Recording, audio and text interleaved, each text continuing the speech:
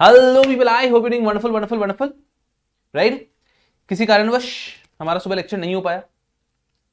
So now we are continuing the lecture in the evening इस समय पे lecture लेने का एक अलग मज़ा है, एक अलग नशा है। और मैं आपको एक बात बताता हूँ।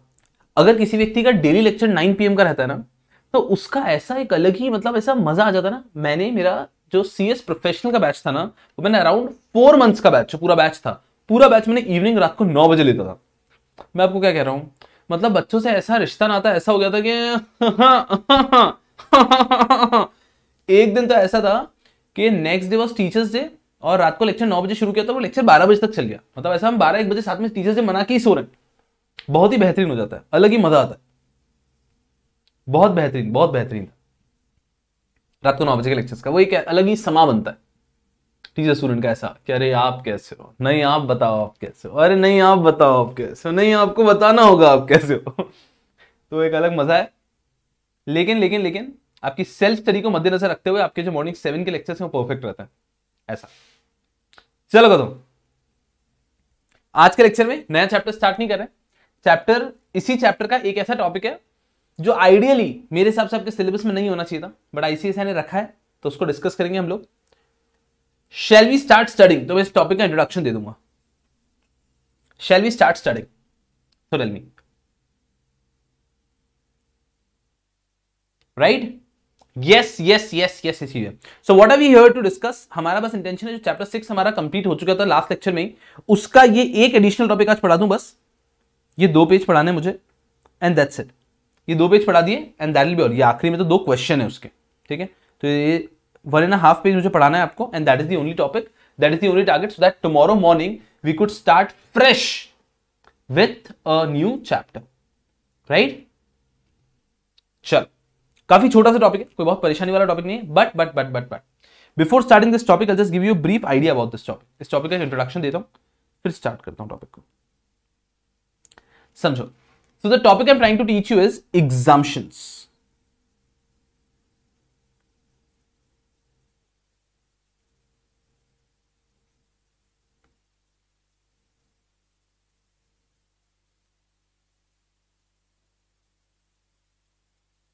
Exemptions under Takeover Code 2011. Exemptions under, under Takeover Code 2011. Focus करो. Exemptions under Takeover Code 2011 का मेन पर्पस क्या है पर्पस ये है कि हमने टेक ओवर कोड के ट्रिगर पॉइंट वगैरह तो पढ़ लिए तो हमें ये आइडिया है कि टेक ओवर कोड के अंदर अगर कभी भी किसी व्यक्ति के पास 25 परसेंट शेयर टच हो जाते हैं तो उसको एक ओपन ऑफ़र देना होता है या फिर किसी भी व्यक्ति जिसके पास ऑलरेडी 25 उससे ज़्यादा परसेंट शेयर है वो फाइव से ज़्यादा अक्वायर कर लेता है तो उसको एक ओपन ऑफ़र देना होता है आपको क्या लगता है क्या कि पूरे टेक ओवर कोड में इतना सा होगा बस? Do you really think takeover code is all about just these two trigger point no takeover code has got hell lot of other things takeover code इतना बेहतरीन लॉ है, जिसके मैंने पहले भी आपको बताया कि आपके सिलेबस में ऐसा 20 टू 30 मार्क्स से सिर्फ़ टेक ओवर कोड हो सकता है। इतना प्यारा ड्राफ्टेड लॉ है, इतना डिटेल में जा सकते हैं। बट आईसीएसआई ने हमारे सिलेबस में रखा है an overview of takeover code तो उन्होंने हमारे मॉड्यूल में भी सिलेक्ट करके कुछ इंपॉर्टेंट प्रोविज़न रखे, ठीक है? अब उस बीच उन्होंने ये एक ऐसा टॉपिक रख दिया है exemption under take over code ये एक ऐसा टॉपिक है जो एक बालक को एग्जीक्यूटिव के बालक को समझ में ही नहीं आ सकता। क्यों समझ में नहीं आ सकता? वाई ऐसे कि ये सिलेबस में नहीं होना चाहिए? बिकॉज़ इसके अंदर कुछ एस्पेक्ट्स ऐसे होते हैं जो कि आपने सिलेबस में रखे ही नहीं है और उनके एग्जाम्शन सिलेबस में है। तो कंपैरेटिवली इट गेट्स डिफ़िकल्ट समझना अच्छे से कि टेक ओवर कोड आपका पूरा सिलेबस में नहीं है राइट उन्होंने सिंपली उसके अंदर एग्जाम्शन का टॉपिक ले लिया तो ऑफकोर्स क्या ये सिलेबस में है यस क्या ये सिलेबस में है यस क्या इस पे एग्ज़ाम में क्वेश्चन आ सकता है यस आ सकता है बट आइडियली आइडियली मेरे हिसाब से this should not be a part of the syllabus why it should not be a part of the syllabus rather you should keep the entire takeover code and then you can keep the exemptions as well जब आप पूरा take over code syllabus में रखते हैं तो parallelly आप exemptions रख सकते हैं। जब टेक ओवर कोड पूरा सिलेबस में नहीं है तो सिर्फ़ एग्जाम्पशंस रखना लॉजिकल नहीं होता, ठीक है? बट फिर भी उन्होंने एग्जाम्पशंस रखे, हम लोग बिल्कुल पढ़ने की कोशिश करेंगे। बट ये बात आप माइंड में रखिए कि एग्जाम्पशंस जैसे हम नॉर्मली टॉपिक पढ़ते हैं तो हमारी क्या एक्सपेक्टेशन होती है कि क्रिस्टल क्लियर होना चाहिए, कि जब तक क्रिस्टल क्लियर नहीं होगा, आगे नहीं बढ़ेंगे। Our normal expectation is our normal expectation is that कोई भी टॉपिक पढ़ने के बाद में एक क्रिस्टल क्लैरिटी आनी चाहिए कि मतलब यार मतलब सर एकदम क्लियर है। जैसे कि हमने पहले मैंडेटरी ओपन ऑफ़र के दोनों ट्रिगर पॉइंट पढ़े। फिर हमने डिस्क्लोजर का कंसेप्ट पढ़ा तो एकदम जब तक क्रिस्टल क्लियर नहीं होता, आगे बढ़ने की इच्छा नहीं होती है। जैसे हमने फ्रीक्वेंटली ट्रेडेड शेयर्स को पढ़ा कि कब फ्रीक्वेंट ट्रेडेड होगा, कब नहीं होगा नोट एंड एवरीथिंग तब पढ़ने का मज़ा आता है। लेकिन कुछ ये ऐसे टॉपिक से आ रहा हूँ, जिसको हमें सिर्फ़ एग्ज़ाम लुकआउट से पढ़ के खत्म करना है। तो ये नाम उन्होंने इस तरह से दिए ही नहीं है कि हम लोग इसको डूब के पढ़ सके। Otherwise this could be a brilliant topic तो हमें एग्जाम्शन पढ़ना है कि एक बार हाथ दिया हुआ है तो कोशिश करते हैं इसको समझने की। इसमें जो क्रिस्टल क्लैरिटी की अपेक्षा आप नहीं कर सकते। बस इतना रेडी होकर जाना है कि एग्ज़ाम में कोई भी क्वेश्चन आ जाए तो हम इसको आंसर कर पाए। ठीक है? So that is a brief overview about this subject exemptions हम जब पढ़ेंगे, दो टाइप के एग्जाम्शंस आपको दिखेंगे। आपको मैं एडिशनल नोट्स में दिखाऊँगा तो वहाँ पे भी दिखेंगे। वन इज़ ऑटोमेटिक एग्जाम्शंस ये इंपॉर्टेंट है। इंपॉर्टेंट तो नहीं बोलूँगा बट ये रैदर हमारा पूरा टाइम यही खाएगा। एक होता है एग्जामेशन बाय सेबी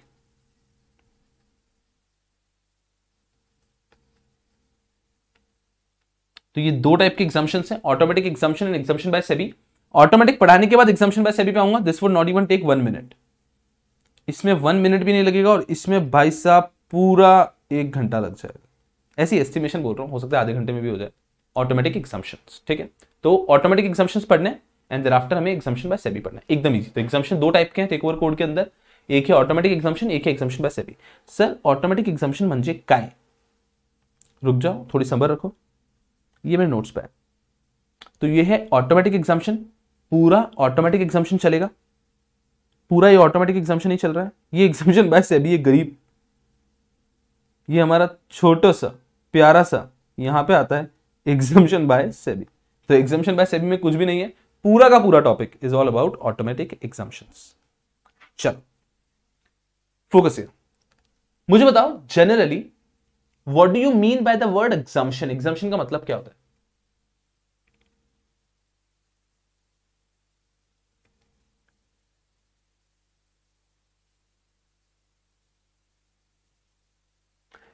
अवीशा ने जो जवाब दिया है ना, मैं थोड़ा खड़ा होकर ताली बजा देता हूँ यार। आज थोड़ा सा अलग खेल हो गया था मेरे साथ पीठ पे, बाद में बताऊँगा। ठीक है, बट अवीशा के लिए थोड़ा सा मैं ताली बजा के बैठ जाओ अविशा का जवाब पहले सबको बता देता हूँ। अविशा का जवाब कहाँ ऊपर चला गया? अविशा का कहना है, एग्जामेशन मतलब एक तो आप लोग इतने कमेंट कर रहे हो, अविशा का जवाब नहीं मिल रहा। भाई साहब, अरे यार, इतना सारा ऊपर चला गया, अविशा का जवाब क्या गया? आप लोग भी रुक नहीं रहे हो कमेंट करे जा रहे हो, गधों। नहीं मिल रहा मुझे अविशा का छोड़ो, नहीं ढूंढना मेरे को बहुत ही भयंकर जवाब दिया अविशा ने। बहुत ही बढ़िया। चलो, इधर आ जाओ आ जाओ आ जाओ आ जाओ। चलो इधर। So exemption from something simply means कि जो उससे बच जाए जो प्रोविज़न के ऊपर वो अप्लाई नहीं हो एक्सक्लूड कर दिया जिसके ऊपर कोई भी प्रोविज़न अप्लाई ना हो एग्जाम्ट हो गया है ओके okay, मैं इससे एग्जाम्ट हो गया ओ I am saved exemption right तो एग्जामेशन का सिंपल मतलब हो गया कि जिस व्यक्ति को किसी भी प्रोविज़न से किसी भी पनिशमेंट से किसी भी एप्लीकेबिलिटी से सेपरेट कर दिया गया हो जिसके ऊपर वो अप्लाई नहीं किया गया हो दैट इज़ एग्जामेशन एकदम सिंपल है एकदम सिंपल है। जैसे कि सीएस एग्जीक्यूटिव के बच्चे इस प्रकार से जानते हैं कि कोई बालक ने अगर चारों पेपर दिए, एक ग्रुप के चार पेपर होते हैं, चारों पेपर दिए, किसी भी पेपर में सिक्सटी से ज़्यादा आ गए तो उसको वो एग्ज़ाम हो जाता है, अगले अटेम्प्ट में अगर वो फेल भी हो जाता है। तो मान लीजिए एक बालक ने चार पेपर दिए, चार पेपर दिए एक बालक ने, उसमें से इस सब्जेक्ट में फेल हो गया, इस सब्जेक्ट में फेल हो गया, इस सब्जेक्ट में फेल हो गया, तीन सब्जेक्ट में फेल हो गया बट इसके अंदर वो ले आया है सिक्सटी फाइव इसके अंदर वो ले आया है सिक्सटी फाइव सिक्सटी से ऊपर ले आया तो उस व्यक्ति को मिलता है exemption C S C S C W S सब तरफ़ मिलता है, मेरे लिमिटेड नॉलेज के हिसाब से। सी और सी एस में मुझे मिलता है, ये मुझे पता है।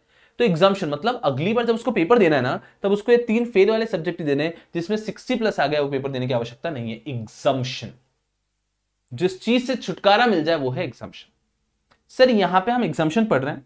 ऑटोमेटिक एग्जामेशन किस चीज़ से छुटकारा मिलेगा? Exemption from what no open offer has to be given if mandatory open offer is triggered by क्या लिखा है मैंने? No open offer has to be given कदम पढ़ाई पे ध्यान दो, मैं पढ़ाई पे ध्यान दो। मैं कह रहा हूँ, ये कैसे बच्चों? सर ने कह दिया, वैसे पूरा समझ में नहीं आएगा तो जितना समझ आएगा वो भी छोड़ो। चलो, हम तो टाइम पास करते हैं। गधों, जितना बता रहा हूँ, उस पर तो फोकस करो। मैंने पहले ही कहा कि इस पर क्रिस्टल क्लैरिटी नहीं आती है। तो at least try and understand the best possible extent ठीक है? मैं मेरे पूरे जी जान से पढ़ाएगा। ये बात है। फोकस हंड्रेड परसेंट पे।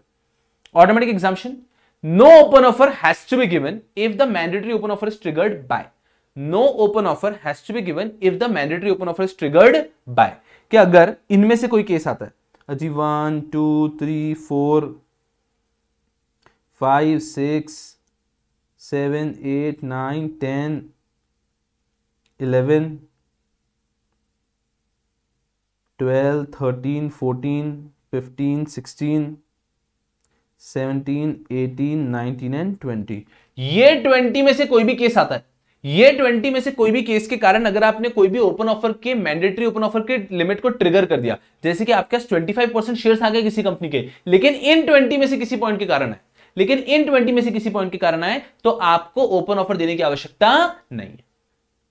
क्लियर अगर हमने एक साल में फाइव परसेंट से ज़्यादा अक्वायर कर लिए शेयर्स लेकिन इन ट्वेंटी में से किसी रीजन के कारण अक्वायर किए तो आपको ओपन ऑफ़र देने की आवश्यकता नहीं है। I hope you're all with me कि ओपन ऑफ़र देने की आवश्यकता नहीं पड़ेगी ओपन ऑफ़र देने की आवश्यकता ही नहीं पड़ेगी, अगर हमने वो 25 परसेंट वाला ट्रिगर पॉइंट या more than 5 percent in first financial year for सेठ जी for anyone who is already holding 25 percent और मोर अगर इन दोनों में से कोई भी हमारा ट्रिगर पॉइंट ट्रिगर हो जाता है तो मैंडेटरी ओपन ऑफ़र देना पड़ेगा, लेकिन अगर वो ट्रिगर होता है इन बीस में से किसी कारणों से तो हमें ओपन ऑफ़र देने की आवश्यकता नहीं अगर हमारा मैंडेटरी ओपन ऑफ़र ट्रिगर होता है इन 20 में से किसी रीजन से तो हमें ओपन ऑफ़र टू 26 परसेंट देने की कोई आवश्यकता नहीं है। I guess it is very simple I guess it is very simple कि ओपन ऑफ़र देने की आपको आवश्यकता नहीं आएगी अगर इन 20 में से कोई से केस बैठते हैं। That is these are known as exemptions कि इस केस में टेक ओवर कोड के जो मैंडेटरी ओपन ऑफ़र है, उससे आप एग्ज़ाम हो जाते हैं। चल, देखते हैं क्या लिखा है। पहला point if the mandatory open offer is triggered by the conversion of equity shares with superior voting right into ordinary equity share कि equity shares with superior voting right है, वो ऑर्डिनरी में कन्वर्ट हुए। इसके कारण आपका जो कंट्रोल है कंपनी वो 25 परसेंट टच हो गया। तो ओपन ऑफ़र देना है क्या? अजी, ये लोग आके बोल के गए, नहीं देने की आवश्यकता है। रुको, मैं आपको समझाता हूँ कैसा हो सकता है ऐसा। एकदम आराम से समझना। मान लो एक बालक है, एक कंपनी ठीक है? अंडरस्टैंड वेरी केयरफुली ठीक है? एक कंपनी के अंदर इस प्रकार से हो रहा है that there are few share holders इनके पास सुपीरियर वोटिंग राइट्स हैं and there are other share holders जिनके पास नॉर्मल शेयर है नॉर्मल इक्विटी शेयर तो कुछ लोगों के पास सुपीरियर वोटिंग राइट है, कुछ लोगों के पास नॉर्मल इक्विटी शेयर सुनना सुपीरियर वोटिंग राइट वाला कंसेप्ट जब हमने पढ़ा था, वहाँ पे आपको याद है, हमने सनसेट प्रोविज़न जैसा एक कंसेप्ट पढ़ा था? Do remember the provision of sunset provision sunset provision याद है क्या किसी को? यू रिमेंबर राइट कि उस टाइम के बाद में वो सुपीरियर वोटिंग वाली राइट वाली इक्विटी शेयर ऑटोमेटिकली नॉर्मल हो जाते हैं। नॉर्मली फाइव ईयर से बट वो एक्सटेंड हो सकता है फॉर फर्दर फाइव ईयर्स तो उस टाइम क्या दिए सुपीरियर वोटिंग राइट वाली इक्विटी शेयर ऑटोमेटिकली नॉर्मल हो जाएँगे। अभी समझना, अभी कंपनी में इनके पास सुपीरियर वोटिंग राइट है। इनके पास नॉर्मल है, इनके पास नॉर्मल है, इनके पास नॉर्मल है, इनके पास भी नॉर्मल है। इन सबके पास नॉर्मल नॉर्मल नॉर्मल नॉर्मल है। Understand very carefully for example fifteen percent fifteen percent fifteen percent fifteen percent ये कितना हो गया? सिक्सटी परसेंट हो गया। और इनके पास है फोर्टी परसेंट। ये वोटिंग राइट्स हैं। ये वोटिंग राइट इस तरह से डिवाइडेड है। वोटिंग राइट इस तरह से डिवाइडेड है। अंडरस्टैंड जिस दिन ये सुपीरियर वोटिंग राइट नॉर्मल हो गए, जिस दिन ये सुपीरियर वोटिंग राइट नॉर्मल हो गए अंडरस्टैंड अब ये जैसे ही फाइव ईयर्स कंप्लीट हो गए, ये सुपीरियर वोटिंग राइट नॉर्मल होकर कम हो गए। फॉर एग्ज़ाम्पल ये सिर्फ़ फाइव परसेंट बचे। अब जो यहाँ पे थर्टी फाइव परसेंट है, वो इन सब के अंदर डिवाइड होने वाला है ना? इन सब में डिवाइड होने वाला है। तो मान लीजिए इनमें से किसी का 25 परसेंट टच हो जाता है। इनमें से किसी का 25 परसेंट टच हो जाता है। For example in our example you presume सबको बराबर नहीं देते, सबका साथ में टच करा के मज़ा नहीं आएगा आपको। इसको दिया 20 परसेंट तो 60 हो गया। Twenty percent. ठीक है? इस प्रकार से दिया आपने। ठीक है? तो अब कैसा हो रहा है? मान लीजिए मान लीजिए, ये forty percent superior voting right था। जब ये नॉर्मल हो जाएगा, ये सिर्फ़ फाइव परसेंट शेयर ही बचे इनके पास। तो अब भाई साहब, इसका कहीं बच के थर्टी परसेंट हो सकता है ना? सो नाउ अंडरस्टैंड इसका वोटिंग राइट ट्वेंटी से थर्टी हो गया। उस व्यक्ति ने, जिस व्यक्ति का ये इक्विटी शेयर होल्डर था, इसका ट्वेंटी से थर्टी हो गया। टेल मी क्या उसने कोई भी शेयर अक्वायर किए क्या? मान लो इसका नाम है मिस्टर ए। मिस्टर ए ने कोई भी शेयर्स अक्वायर किए क्या? नहीं अक्वायर किए बट फिर भी उसका वोटिंग राइट ट्वेंटी से थर्टी हो गया ना? फिर भी उसका वोटिंग राइट ट्वेंटी से थर्टी हो गया ना? तो इस चीज़ को रखा गया है एग्जाम्शन में। इस चीज़ को रखा गया है exemption now I can keep my hand up till here yes इस चीज़ को रखा गया है एग्जाम्पशन सिंपल सी बात है। तो इतना सा कंसेप्ट उन्होंने रखने की कोशिश की। पहले पॉइंट में क्या कहने की कोशिश की? है पहले पॉइंट में कहने की कोशिश की है कि कोई ओपन ऑफ़र देने की ज़रूरत नहीं है। जनरली 25 परसेंट टच करती है ओपन ऑफ़र देना होता है ना। जनरली 25 परसेंट टच करती ओपन ऑफ़र देना होता है। But here they trying to say कि अगर आपका 25 परसेंट का ट्रिगर पॉइंट टच हुआ है ट्रिगर पॉइंट टच हुआ है because of conversion of equity share with superior voting right into ordinary equity share तो आपको ओपन ऑफ़र देने की आवश्यकता नहीं है। Are you all understanding this अगर एक समझ में आ गया तो सब समझ में आएँगे। पहला समझ में आ रहा है कि हाँ भाई मतलब मैंने कोई शेयर अक्वायर नहीं किए, किसी के superior voting right normal voting right में आ गए तो उससे ऑटोमेटिकली मेरा वोटिंग राइट बढ़ जाता है ना? अब उसके नॉर्मल हो गए तो मेरा वोटिंग परसेंटेज बढ़ जाएगा। सो द मोमेंट मेरा वोटिंग परसेंटेज बढ़ गया, मेरा 25 परसेंट हो गया ओपन ऑफ़र ओपन ऑफ़र देना पड़ेगा ओपन ऑफ़र देना पड़ेगा। अरे नहीं नहीं नहीं नहीं एग्जाम्शन में कवर होते हो आप। अजी एग्जाम्शन में कवर होते हो। एग्जाम्शन का पॉइंट कहता है कि अगर superior voting right ordinary shares में कन्वर्ट हुए हैं और उस कारणवश superior voting right ordinary shares में कन्वर्ट हुए और उस कारणवश आपका ट्रिगर पॉइंट ट्रिगर हुआ है, आपको मैंडेटरी ओपन ऑफ़र देने की कोई आवश्यकता नहीं है। आई होप देख लिया तो जो मैंने हाईलाइट किया है ना, सिर्फ़ उसको ध्यान रखना है, ताकि अगर एग्ज़ाम के एक दो दिन पहले आप सिर्फ़ हाईलाइटेड वर्ड भी देखें तो आपको क्लियर हो जाए कि हाँ हाँ कन्वर्जन अगर हो रहा है सुपीरियर वोटिंग राइट से नॉर्मल कन्वर्जन कन्वर्जन कन्वर्जन के कारण अगर हो रहा है तो वहाँ पे ओपन ऑफ़र देने की आवश्यकता are we understanding so that's the first point easy second point अगर कभी प्रेफरेंशियल इशू हो रहा है एज पर आईसीडीआर तो भी आपको ओपन ऑफ़र देने की आवश्यकता नहीं है। प्रेफरेंशियल इशू का मतलब क्या हो गया कि एक कंपनी कुछ शेयर होल्डर्स को प्रेफरेंशियली शेयर दे रहे हैं। एक कंपनी कुछ शेयर होल्डर्स को प्रेफरेंशियली शेयर दे रहे हैं एज पर आईसीडीआर तो उसके अंदर भी, उसके अंदर भी अगर ट्रिगर हो गया तो आपको ओपन ऑफ़र देने की आवश्यकता नहीं है। सर यहाँ पे लॉजिक नहीं समझ रहा। सर यहाँ पे लॉजिक नहीं समझ रहा। आर यू अंडरस्टैंडिंग फोकस करना। यहाँ पे लॉजिक नहीं समझ रहा है कि सर आखिर लॉजिक क्या है इसका? Understand very carefully preferential issue का लॉजिक क्या टेल यू वैसे मतलब we will not get into logic but इसका लॉजिक बता देता हूँ, ये आपको आसानी से समझ में आ जाएगा। बहुत सारे ऐसे पॉइंट हैं जो कि आपको समझाना भी मुश्किल होगा। ये इजीली समझेगा। प्रेफरेंशियल इशू जब भी कंपनी को करना होता है company has to first pass a special resolution focus very carefully preferential issue अगर कभी भी करना होता है तो company has to first pass a special resolution Shravani we are in between of a very nice topic a tricky topic जो मैं पहले ही कह चुका हूँ कि आपको क्रिस्टल क्लैरिटी नहीं है, और उसमें अगर आप कहीं और की चीज़ ला रहे ना तो ट्रस्ट मी फिर तो समझ में आने की कोई संभावना ही खत्म हो जाएगी. सो हंड्रेड परसेंट फोकस यहाँ पे तो जो मैं कह रहा हूँ. मस्त दोनों कान खुले रख के सुनते रहो, मैं समझाने की कोशिश कर रहा हूँ. अंडरस्टैंड प्रेफरेंशियल इशू जब भी करना होता है तो प्रेफरेंशियल इशू का प्रीरिक्विजिट होता है you to pass a special resolution तो कहीं ना कहीं शेयर होल्डर्स का अप्रूवल तो पहले ले लिया है ना? तो अगर प्रेफरेंशियल इशू से अगर किसी का 25 परसेंट ट्रिगर भी होता है तो वहाँ पे मैंडेटरी ओपन ऑफ़र नहीं देना होगा. क्यों? दिमाग में याद रखना प्रेफरेंशियल इशू अगर करना है तो उसके लिए पहले शेयर होल्डर्स अप्रूवल लेना तो शेयर होल्डर्स अप्रूवल के बाद ही प्रेफरेंशियल इशू हो सकता है. तो जब शेयर होल्डर्स अप्रूवल लिया है ना तो शेयर होल्डर्स को परेशानी नहीं होगी, तभी तो उन्होंने अलाउ किया है. तो प्रेफरेंशियल इशू के कारण भी अगर आपका मैंडेटरी ओपन ऑफ़र का ट्रिगर पॉइंट आ रहा है तो वहाँ पे भी आपको ओपन ऑफ़र देने की आवश्यकता नहीं है। सेकेंड पॉइंट तो कन्वर्जन हो रहा है आपका सुपीरियर वोटिंग रेट से नॉर्मल में ओपन ऑफ़र आपको देने की कोई ज़रूरत नहीं है। सेकेंड प्रेफरेंशियल इशू कर रहे हैं, और उसके कारण किसी का अगर ट्रिगर हो रहा है पॉइंट ट्वेंटी टच हो रहा है मोर देन फाइव हो रहा है तो भी ओपन ऑफ़र देने की आवश्यकता नहीं थर्ड पॉइंट थर्ड और फोर्थ थोड़ा सा ट्रिकी है। मुझे बताओ आपको खुद से समझ में आ रहा है क्या? पहले थर्ड पढ़ोगे, फिर फोर्थ पॉइंट पढ़ोगे। Can you understand these two point by yourself give it a try give it a try give it a try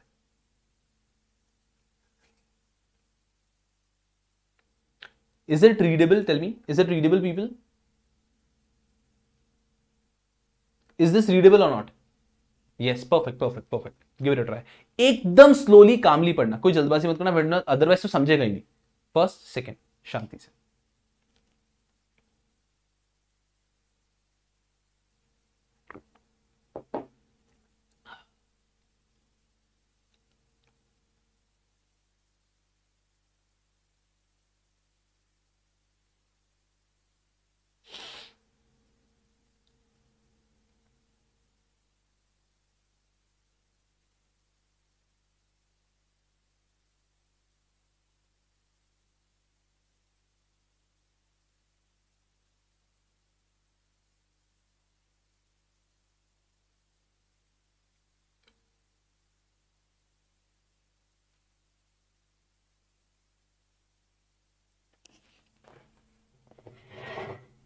गर्मी है सडनली इंक्रीज यार।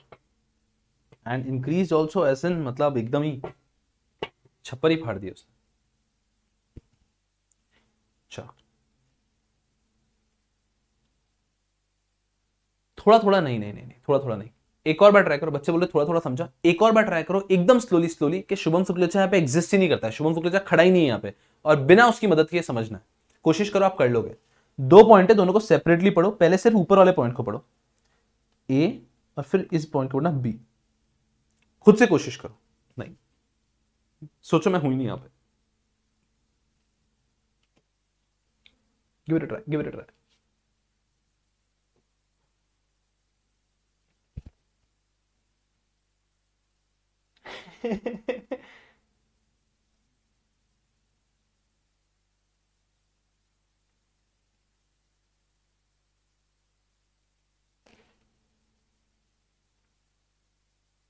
threshold का मतलब कहते थ्रेशोल्ड मतलब दैट लिमिट लिमिट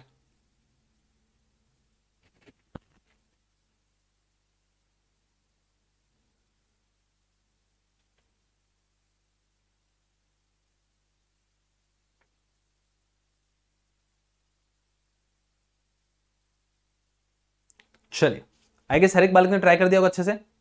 बहुत इजी पॉइंट है उस बारीकी से पढ़ना। पहले हम बात करते हैं थर्ड पॉइंट की। थर्ड पॉइंट तो समझ में आ गया होगा। थर्ड पॉइंट क्या कह रहा है?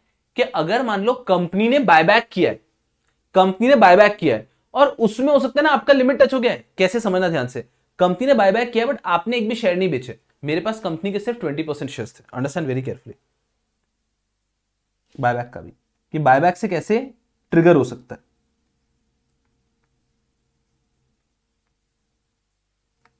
बायबैक से किस प्रकार से ट्रिगर हो सकता है? फोकस करना अच्छे से। मान लीजिए कंपनी के पाँच शेयर होल्डर हैं ए बी सी डी सबके पास ट्वेंटी थाउज़ेंड शेयर नहीं, यार, सबको सेम शेयर दूँगा तो वापस सबका ट्रिगर हो जाएगा। नहीं।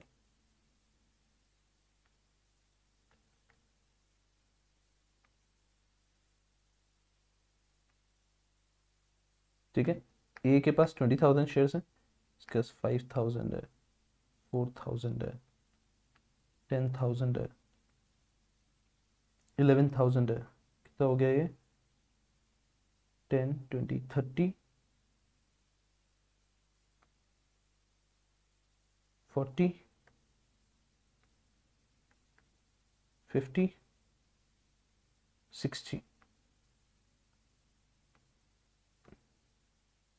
twenty thousand focus करना बहुत अच्छे से। फोकस करना अच्छे से। A B C D E F G H I ये कंपनी के शेयर होल्डर्स हैं। ये सब एक कंपनी के शेयर होल्डर्स हैं।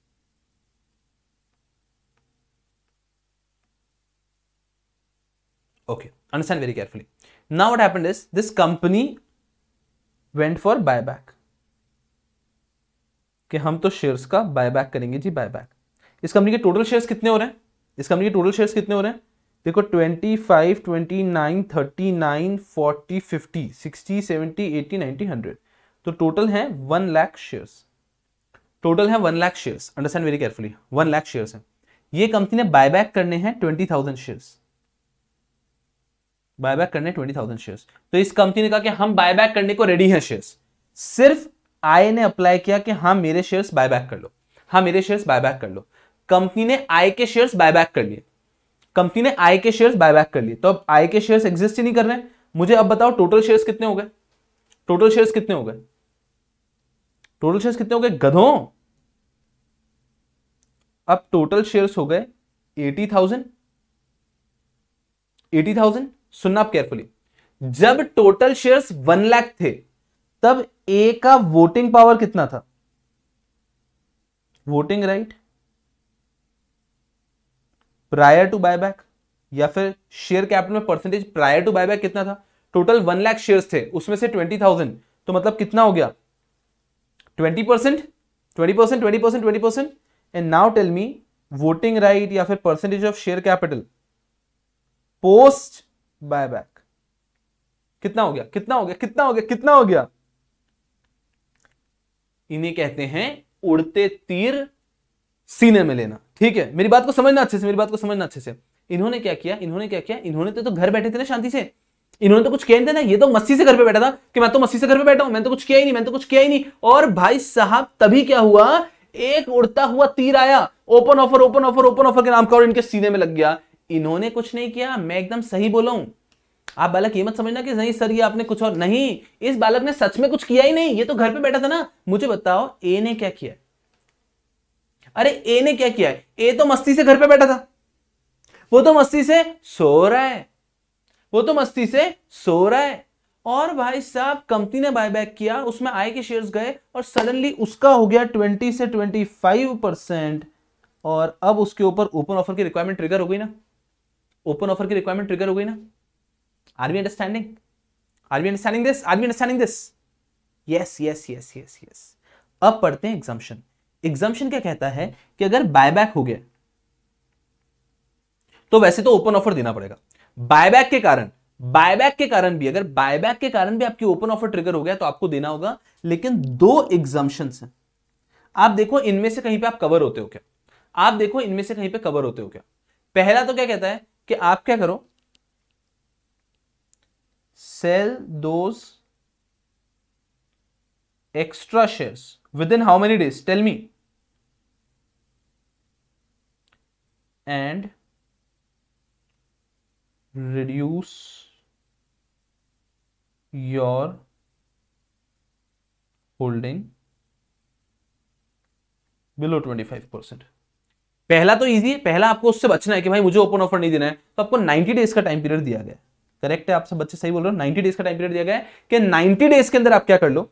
90 डेज़ के अंदर आप क्या कर लो? आप वापस उन एक्स्ट्रा शेयर्स को बेच के और खुद की लिमिट रख लो आप उसके अंदर। नाइन डेज़ में अपने एक्स्ट्रा शेयर बेच दो वापस ट्वेंटी फाइव परसेंट के अंदर आ जाओ तो आपको ओपन ऑफ़र नहीं देना है। एक ऑप्शन तो ये है ही एक ऑप्शन तो ये है कि अगर यार बायबैक लोगों के शेयर्स बायबैक होने से मेरा परसेंटेज बढ़ गया, मेरे पे ओपन ऑफ़र ट्रिगर हो गया 90 डेज़ के अंदर ये एक्स्ट्रा शेयर्स बेच दो, वापस 25 परसेंट के अंदर आ जाओ ओपन ऑफ़र देने की आवश्यकता नहीं है। This is the first option second option क्या है? सेकेंड ऑप्शन ये कहता है कि सुनो, जब ये बायबैक का रेजोल्यूशन पास किया होगा, तब आपने बायबैक का चैप्टर अभी तक आप बच्चों का हुआ नहीं मैं आपको एक आइडिया देता हूँ। बायबैक की एक लिमिट रहती है कि एक कंपनी अगर थोड़ा सा बायबैक करना चाहता है एग्जैक्टली बताऊँ टेन परसेंट अपने शेयर कैपिटल का टेन परसेंट अगर बायबैक करना चाहता है कंपनी तो बोर्ड रेजोल्यूशन से कर सकता है। लेकिन अगर एक कंपनी टेन परसेंट से ज़्यादा बायबैक करना चाहता है तो उसको शेयर होल्डर्स रेजोल्यूशन लगता है। ये भी समझ लो चैप्टर में डिटेल में पढ़ेंगे। अगर एक कंपनी को टेन परसेंट तक बायबैक करना है तो टेन परसेंट तक बायबैक कैसे कर सकता है? बोर्ड रेजोल्यूशन से। और अगर कंपनी को उससे ज़्यादा करना है, उस पर भी आगे लिमिट है, सही तरीके टाइम पे पढ़ेंगे हम, थोड़े दिन में पढ़ने वाले हैं तो वो शेयर होल्डर्स रेजोल्यूशन से होता है। ठीक है? तो डिपेंड करता है कि बोर्ड रेजोल्यूशन से हुआ है शेयर होल्डर्स रेजोल्यूशन से हुआ है। तो ये क्या कह रहे हैं? सुनो। इफ़ शेयर होल्डर्स रेजोल्यूशन से हुआ है, ठीक है? अगर शेयर होल्डर्स रेजोल्यूशन से हुआ है सो so देन ये जो व्यक्ति पर्सन इन क्वेश्चन है ना, जिसका 20 से 25 परसेंट हो गया है, जिसका 20 से 25 परसेंट हो गया है this person did not vote in favour of buyback इस व्यक्ति ने बायबैक के फेवर में वोट नहीं करना चाहिए। अगर बायबैक के फेवर में आपने वोट नहीं किया था, फिर भी बायबैक का डिसीज़न हुआ है।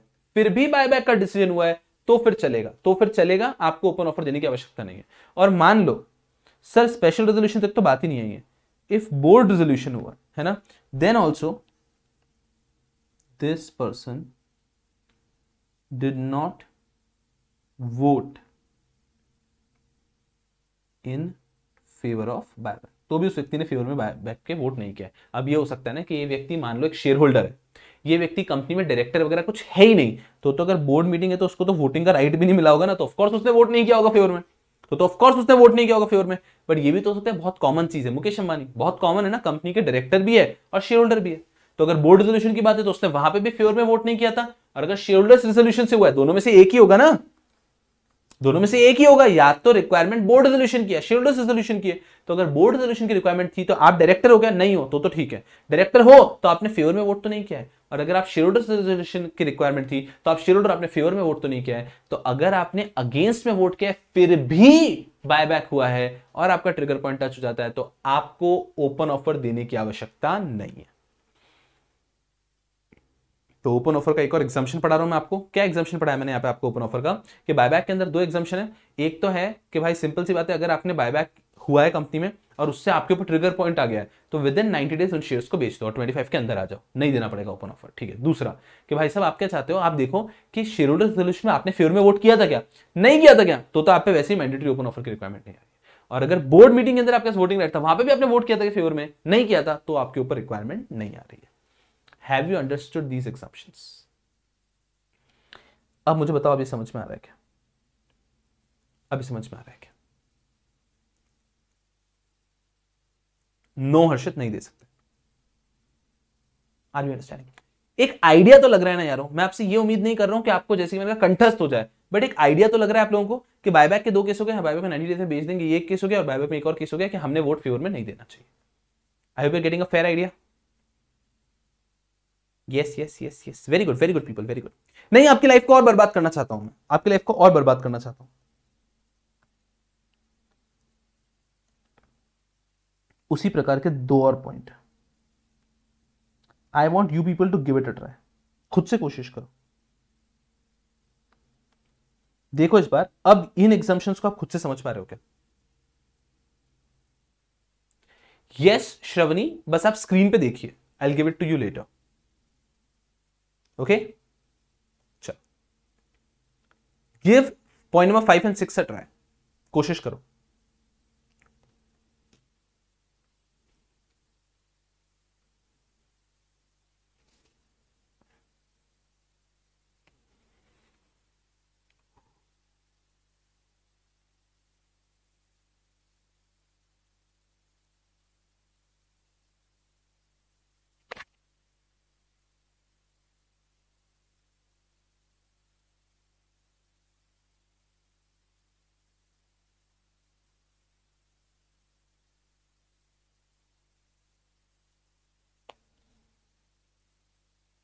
कोशिश करिए खुद से, फिर मैं तो समझाऊँगा ना सनी का। तो आप खुद के हिसाब से सोचिए।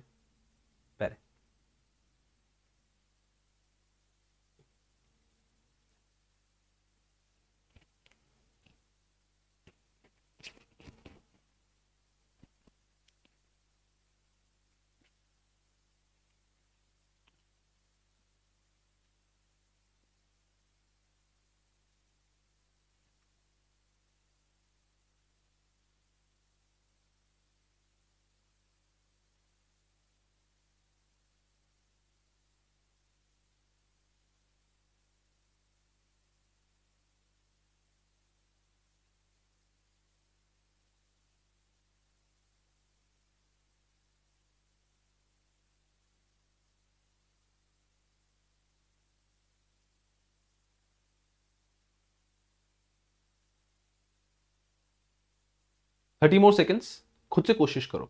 मेरा अभी भी सजेशन है बच्चों को देखो, सुनो कैसा है। एक स्टूडेंट का माइंडसेट कैसा होता है कि नहीं सर, आप ही पढ़ाओ, मैं पढ़ के चला जाऊँगा। मेरा विश्वास मानना, उस माइंडसेट से आप आगे नहीं बढ़ पाओगे। यही तो प्रॉब्लम हो गया इंडियन एजुकेशन सिस्टम का। You have to be independent मतलब despite of the fact that this is a coaching centre and आपको मुझे पढ़ाने में रिस्पॉन्सिबिलिटी है but you have to be independent कि बिना इस टीचर की मदद के पढ़ा। तो आपने कुछ सीखा है तो आपने कुछ सीखा है। आर यू अंडरस्टैंडिंग अगर आप मेरी मदद के बिना पढ़ पा रहे हो तो आप सीख रहे हो तो आप आगे बढ़ रहे हो। भले डिफ़िकल्ट जा रहा है, कोशिश करना आपका काम। तो आप धीरे धीरे इंप्रूव करेंगे। अदरवाइज़ आप कभी इंप्रूव ही नहीं करेंगे। इसका मतलब ये हो जाएगा कि जब तक टीचर आपको पढ़ा रहा है, तब तक समझ रहा है। जिस दिन टीचर ने बंद कर दिया आपको ये टॉपिक आप खुद से पढ़ो। प्रोफेशनल के बाद आप कल को खुद से प्रैक्टिस करोगे, कुछ टॉपिक खुद से है तो आप नहीं पढ़ सकते ना। Then the entire system is worthless you to try to interpreted by yourself धीरे धीरे धीरे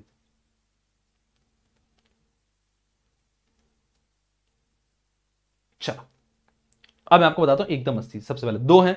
एग्जाम्शन नंबर फाइव क्या acquisition of share by shareholder of target company up to is entitlement pursuant to a right issue right issue के तहत अगर आपने अपने entitlement तक के शेयर्स लिए हैं तो आपके ऊपर कभी भी ट्रिगर नहीं होगा। Sir what you mean by up to his entitlement क्या होता है? जब भी एक कंपनी राइट इशू करती है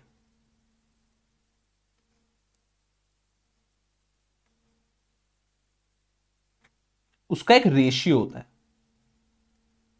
फॉर एग्ज़ाम्पल एक कंपनी के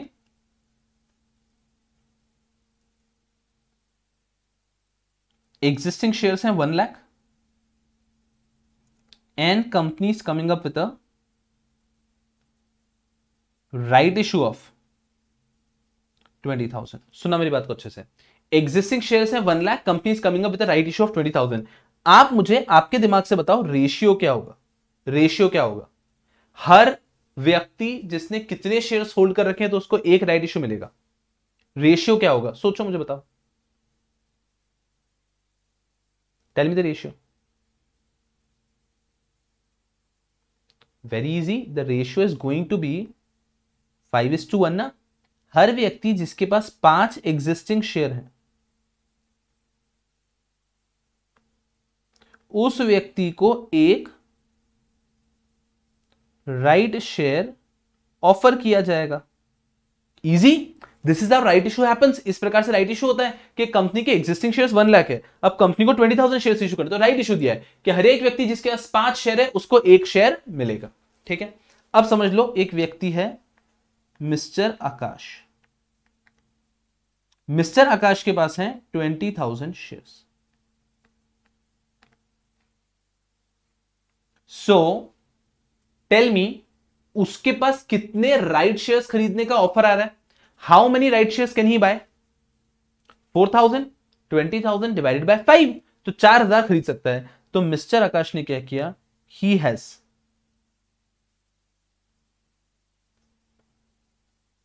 acquired 4000 right shares he has acquired 4000 right shares उसको 4000 राइट शेयर्स का ऑफ़र किया था उसने 4000 अक्वायर कर लिया मुझे एक बार बताओ, किसी को याद है क्या?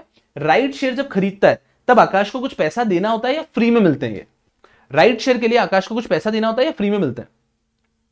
अजीब, पैसा देना होता है ना? ऑफकोर्स देना होता है। फ्री में मिलने वाले शेयर्स को क्या बोलते हैं? फ्री में मिलने वाले शेयर्स को क्या बोलते हैं? बोनस शेयर्स बोनस शेयर तो ये राइट शेयर है। इसके लिए आकाश को पैसे देना होता है। तो if Akash was offered four thousand shares and Akash has acquired four thousand shares this is what you mean by he has acquired up to his entitlement उसने अपने एंटाइटलमेंट तक अप्लाई किया। अक्वायर किया। Acquisition of shares by shareholder of target company up to his entitlement person to a right issue कि right issue में जितने shares का मैं एंटाइटल था उतने मैंने एक्वायर किए हैं तो मुझे कभी मैंडेटरी ओपन ऑफ़र नहीं देना है। कभी मतलब अप, मतलब कभी भी अप्लाई भी नहीं होने वाला तो जितने शेयर्स उसके ऊपर उसको राइट मिला था उतने ही शेयर्स अगर अक्वायर किए हैं तो मैंडेटरी ओपन ऑफ़र देने की कभी आवश्यकता नहीं आएगी तो पहली चीज़ समझ में आना चाहिए कि अगर किसी भी व्यक्ति ने राइट इशू में जितने शेयर्स उसको राइट था, जितने एंटाइटल थे, उतने ही शेयर्स खरीदे तो उसको कभी भी मैंडेटरी ओपन ऑफ़र देने की ज़रूरत नहीं पड़ेगी। यहाँ पे तो अप्लाई भी नहीं होता वैसे। आपके ऊपर ट्रिगर भी नहीं होगा। बट यहाँ पे क्या लिखा है? अगर ट्रिगर हो जाता है तो भी आपको ओपन ऑफ़र नहीं देना है। If you are acquiring how many share up to your entitlement अब सेकेंड केस समझो। Acquisition of share by share of target company beyond is entitlement person to right issue sir beyond is entitlement कैसे होता है? पहले वो समझाता हूँ। सुनना। अब यहाँ पे क्या हुआ? इस केस में फाइव टू वन का ऑप्शन ऑफ़र हुआ। Total twenty thousand share offer हुए। आकाश ने क्या किया? अपने ट्वेंटी थाउज़ेंड शेयर पे जो उसको फोर थाउज़ेंड शेयर मिले, वो तो उसने ले लिए।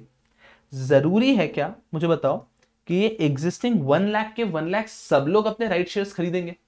इज़ इट रिक्वायर्ड नो बहुत सारे लोग होते हैं जो राइट शेयर्स नहीं खरीदते, उसके लिए पैसा देना होता है ना। नहीं है उनके पास पैसा, वो नहीं दे रहे तो हुआ ऐसा राइट इशू में ट्वेंटी थाउज़ेंड शेयर थे, ये ऑफ़र किए। इन ट्वेंटी थाउज़ेंड में understand twelve thousand shares were acquired by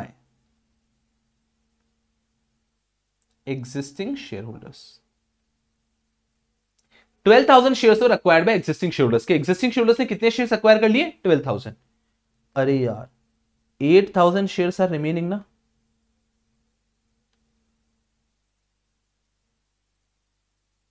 are you understanding अब क्या होता है, ये 8000 शेयर्स भी सबको ऑफ़र किए जाते हैं, ये सुनो ना, किसी को एक्स्ट्रा चाहिए तो ले लो। किसी को एक्स्ट्रा चाहिए तो ले लो। कि हमने हमारे सारे एक्सिस्टिंग शेयर को बोला था, कुछ लोगों ने नहीं लिए। तो अब आकाश अगर चाहे तो उसने अपने फोर थाउज़ेंड तो ले लिए।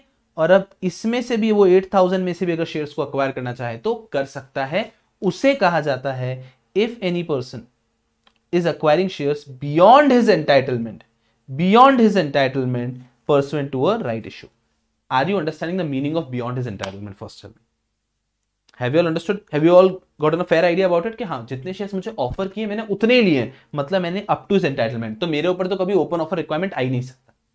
अरे यार if any person is acquired shares beyond is entitlement percent to right issue तो उसके ऊपर ज़रूर ओपन ऑफ़र आ सकता है। लेकिन ओपन ऑफ़र उसके ऊपर भी नहीं आएगा एग्जामेशन पढ़ रहे ना if he satisfy these two condition एक अक्वायरर जिसने अपने एंटाइटलमेंट वाले राइट शेयर्स लिए, उसके ऊपर तो ओपन ऑफ़र कभी आएगा ही नहीं। लेकिन अगर एक व्यक्ति जिसने अपने एंटाइटल से ज़्यादा एंटाइटलमेंट से ज़्यादा राइट शेयर्स लिए, उस पर ओपन ऑफ़र आ सकता है, लेकिन उस पर भी नहीं आएगा, अगर वो ये दोनों कंडीशन सेटिस्फाई कर देता है तो। ये दो कंडीशंस क्या है? पहली the has not renounced any of his entitlement such right issue ऐसा नहीं कि भाई, जो उसके चार हज़ार थे, उसमें तो उसने रिनाउंस कर दिया था कि नहीं यार भाई, मैं रिनाउंस करूँ रिनाउंसिएशन का मतलब समझते हो कि वो व्यक्ति किसी और के फेवर में दे रहा है। कैसा होता है यहाँ पे? रिनाउंसिएशन के अंदर कैसे फ़ंक्शन होता है? मान लीजिए आज आकाश के पास में फोर थाउज़ेंड शेयर खरीदने का राइट था। आकाश का मैं एक फ्रेंड हूँ। I am a friend of Akash. Shubham is a friend of Akash. Shubham is not a shareholder of this company but Shubham wants to buy share of this company Shubham अगर market से लेगा तो ज़्यादा price में मिलेंगे। आकाश के पास right issue का ऑप्शन है तो आकाश क्या कर सकता है? अपने राइट को रिनाउंस कर सकता है किसी और के फेवर में। कि सुनना शुभम, तुझे शेयर चाहिए क्या? Okay as Akash I have right to buy four thousand share ले, तू ले ले four thousand share is right issue price में। तो ये एक ऑप्शन होता है, इसे कहते हैं रिनाउंसिएशन इसे कहते हैं रिनाउंसिएशन तो पहली कंडीशन ये है कि उस व्यक्ति ने बिल्कुल भी शेयर्स का रिनाउंसिएशन नहीं किया। उस व्यक्ति ने बिल्कुल भी शेयर्स का रिनाउंसिएशन नहीं किया। And second condition the price at which the right issue is made is not higher than the ex right price of the share of the target company कि right issue price should not be higher than the ex right price तो तो बेवकूफ़ी हो जाएगी ना? सुनना मेरी बात को। सुनना सुनना सुना what is ex right price what is ex right price कि राइट इशू आने के पहले जो प्राइस था excluding right price right issue आने के पहले जो प्राइस था, ठीक है? Right issue price if it all it is higher than ex right price तो तो बेवकूफ़ी हो जाएगी ना। If right issue price is higher than the ex right price तो बेवकूफ़ी हो जाएगी। तो कभी भी right issue price should not be higher than the ex right price आपको समझ में आ रहा है कि भाई साहब, कहने का मतलब क्या? सुनो मेरी बात को, मैं क्या कह रहा हूँ? मैं ऐसा कह रहा हूँ कि आप सब बच्चे एग्जीक्यूटिव पास हो जाते हो प्रोफेशनल में एडमिशन के लिए आ रहे हो बच्चे। और मैं आपको क्या कह रहा हूँ? सुनो सुनो मेरी बात। आप सबने देखा कि इंस्पायर की फॉर एग्ज़ाम्पल प्रोफेशनल की फ़ीस इज़ नो नो से से some random fifty thousand rupees की इंस्पायर की प्रोफेशनल की फ़ीस फिफ्टी थाउज़ेंड रुपीज़ मैं क्या कह रहा हूँ? सुनो! मित्रों, आप हमारे हो, हमारे सनम। बाकी सब तो सपने होते हैं, लेकिन अपने तो अपने होते हैं। आप बच्चों के लिए, चूँकि आप हमारे एग्जीक्यूटिव के बच्चे हैं, आप बच्चों के लिए प्रोफेशनल की फ़ीस है सिर्फ़ मात्र केवल सिक्सटी थाउज़ेंड रुपीज़ ए, नहीं नहीं नहीं नहीं नहीं नहीं नहीं नहीं, मुझे रोको मत, मुझे रोको मत, मुझे रोको मत, मुझे रोको मत। आप लोगों के लिए प्रोफेशनल सिक्सटी थाउज़ेंड रुपीज़ अजी कैसा लगेगा? अरे, दिल तोड़ के ना जा, मुँह मोड़ के ना जा। अच्छा लगेगा क्या? अच्छा लगेगा क्या? आपको समझ में आ रहा है ये? दिल से बुरा लगता है, दिल से दिल से बुरा लगता है। समझ में आ रहा है? सो अंडरस्टैंड वेरी केयरफुली कि एक्स राइट प्राइस मतलब जब राइट इशू नहीं थे एक्स राइट प्राइस जो है और राइट इशू प्राइस है। उसके अंदर हमेशा ex right price should be more ना? Ex right price should be more कहने का मतलब है कि मार्केट में शेयर मिल रहा था 200 का और आप राइट इशू के तहत 150 में दोगे तो अच्छा लगेगा ना? मार्केट में शेयर मिल रहा था 200 का और आप राइट इशू के तहत अगर 150 में दोगे तो एग्जिस्टिंग शेयर होल्डर्स को अच्छा लगेगा ना? मार्केट में शेयर मिल रहा था 200 का। आप बोल रहे हो तो एग्जिस्टिंग शेयर होल्डर के सिर्फ़ तुम्हारे लिए। अरे सिर्फ़ तुम्हारे लिए। भाई साहब ये शेयर सिर्फ़ तीन सौ में देता हूँ सिर्फ़ तीन सौ में देता हूँ। ले जा ले जा ले, ले जा ले जा रे। अभी के अभी। अजी अच्छा लगेगा क्या? तो कहने का मतलब इतना सा है कि कभी भी right issue price should not be higher than the ex right price को लॉजिक से समझना। एक्स राइट प्राइस मतलब एक्सक्लूडिंग राइट राइट इशू आने के पहले मार्केट प्राइस कितना था? और राइट इशू के अंदर मार्केट प्राइस कितना है? तो 100% पहले का जो मार्केट प्राइस वो ज़्यादा होना चाहिए ना। तो right issue price should not be higher than the ex right price right issue price should not be higher than the X right. ये अपने लॉजिक से बोलना। खुद से पूछो कि यार कौन सा प्राइस ज़्यादा होना चाहिए? तो of course ex right market price ज़्यादा होना चाहिए तो right issue price should be lower या फिर क्यों कह सकते हैं right issue price right issue price should not be higher than the ex right price right issue price should not be higher than the ex right price are we understanding are we understanding clear है? तो ये हो गया right issue का case जैसे bonus issue का पड़ा था। तो आई गेस आप लोगों को एक आइडिया जैसे कि मैंने कहा कि I don't even I don't think ICSI should ask questions over this but it's of course part of a syllabus तो दे कैन उन्हें पूछना नहीं चाहिए बट हाँ वो पूछने की ताकत ज़रूर रखता है। तो you need to have a fair idea about this topic तो नेक्स्ट हो गया राइट इशू तो राइट इशू अगर मैंने टू माई एंटाइटलमेंट लिया है तो, तो कोई टेंशन ही नहीं है। बट अगर मोर देन एंटाइटलमेंट लिया है तो सुनो मैंने कोई भी रिनाउंस नहीं किया नहीं किया साहब। And the ex right price जो है और ये राइट इशू प्राइस है तो right issue price should not be higher than the ex right price right issue price should not be higher than the ex right price एकदम easy six तक पहुँचे और इसी प्रकार तक ट्वेंटी तक जा रहे सिक्स तक पहुँचे और इसी प्रकार से ट्वेंटी तक जा रहे चलिए। सेवेंथ पॉइंट आ जाता है। Acquisition of shares in target company by any person in exchange for shares of another target company tenders pursuant to an open offer for acquiring shares under these regulation इसके अंदर क्या हो रहा है? मतलब समझो। अपन शेयर्स अक्वायर कर रहे थे। फोकस करना वेरी केयरफुली अपन ने शेयर अक्वायर किए कंपनी के अंदर, ठीक है? अब उसके बदले में अपन ने जब शेयर अक्वायर किए हम, मैंने कल एक टॉपिक पढ़ाया था आपको मोड ऑफ़ पेमेंट कि आप किस प्रकार से पेमेंट कर सकते हैं। ओपन ऑफ़र के अंदर आप किस प्रकार से पेमेंट कर सकते हैं। तो आप पेमेंट कैश में भी कर सकते हैं इक्विटी शेयर्स में भी कर सकते हैं। आप पेमेंट कैश में भी कर सकते हैं इक्विटी शेयर्स में भी कर सकते हैं। अब सुनना ध्यान से, आपने एक कंपनी को अक्वायर किया मैंडेटरी ओपन ऑफ़र आया। उसके अंदर आप जो उनको पेमेंट कर रहे थे ना, वो पेमेंट आप कर रहे हो किसी इक्विटी शेयर के अंदर ही। अपने कंपनी के इक्विटी शेयर के फॉर्म में आप पेमेंट कर रहे हो। और पेमेंट इतना ज़्यादा हो रहा है कि उसमें किसी व्यक्ति के पास में कितने शेयर्स हो गए? अजी, कितने शेयर्स हो गए? ट्वेंटी फाइव परसेंट और मोर शेयर हो गए। तो भाई, ये तो वही बात हुई। मैंने उसको थप्पड़ मारा। अजी रिटर्न में उसने मुझको थप्पड़ मारा। अब वापस मैं उसको थप्पड़ मारूँगा? वो वापस मुझे थप्पड़ मारेगा। क्या सुबह तक थप्पड़ थप्पड़ खेलते रहेंगे क्या? आर बी अंडरस्टैंडिंग एकदम सिंपल कि भाई साहब, आपने उनकी कंपनी के 25 परसेंट ज़्यादा शेयर अक्वायर किए। ठीक है तो उनके शेयर होल्डर्स है।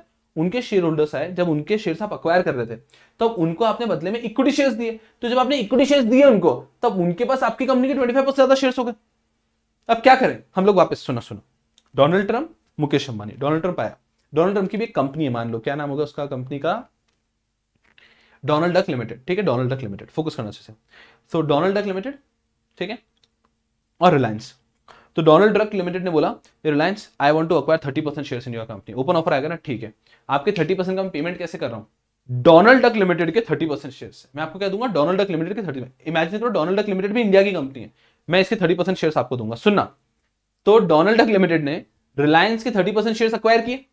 इन पे ओपन ऑफ़र है ठीक है। इन्होंने इन थर्टी परसेंट का पेमेंट करना होता है ना, कैसे किया? Buy thirty percent share of Donald Duck Limited अब मुकेश अंबानी साहब के डोनाल्ड डक लिमिटेड के कितने परसेंट शेयर हो गए? कितने हो गए? बोलो कितने हो गए? Thirty percent. अब इनको भी तो उनके शेयर होल्डर्स को ओपन ऑफ़र देना पड़ेगा। भाई साहब, अब क्या करें? समझ नहीं आ रहा कुछ भी। अरे भाई साहब तो इन्होंने क्या कह दिया? सुनना ध्यान से।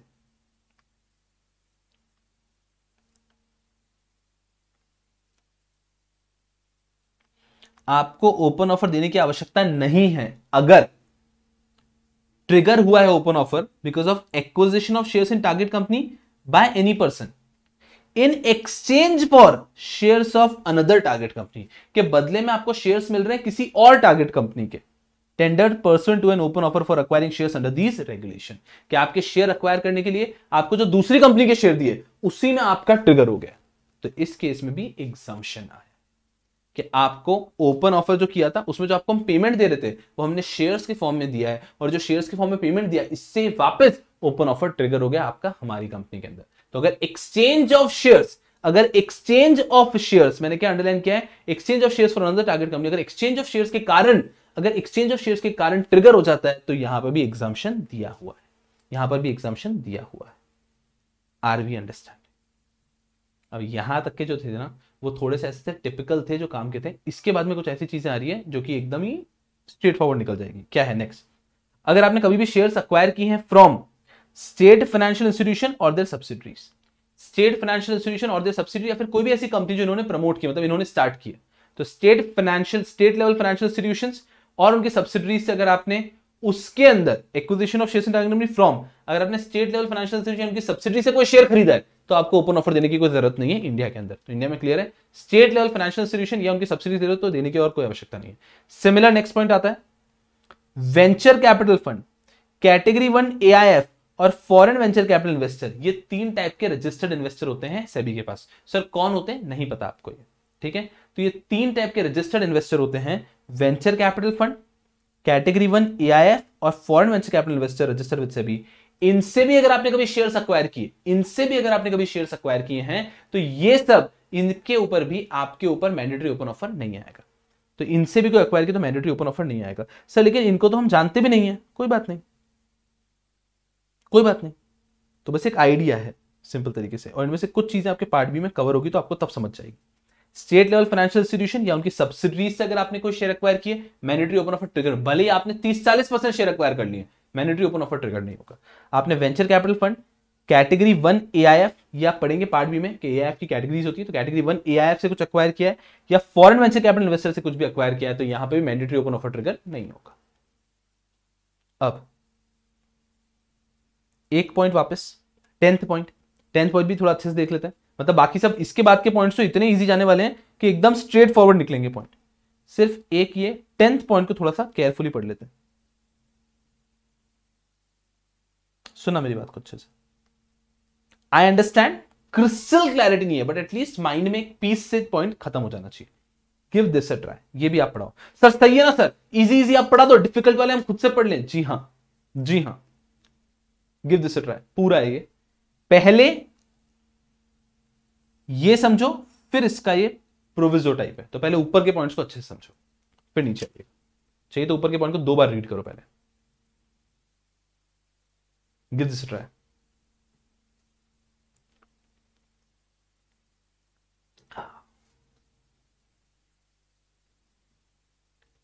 सूरज हुआ मध्यम चाँद चलने लगा।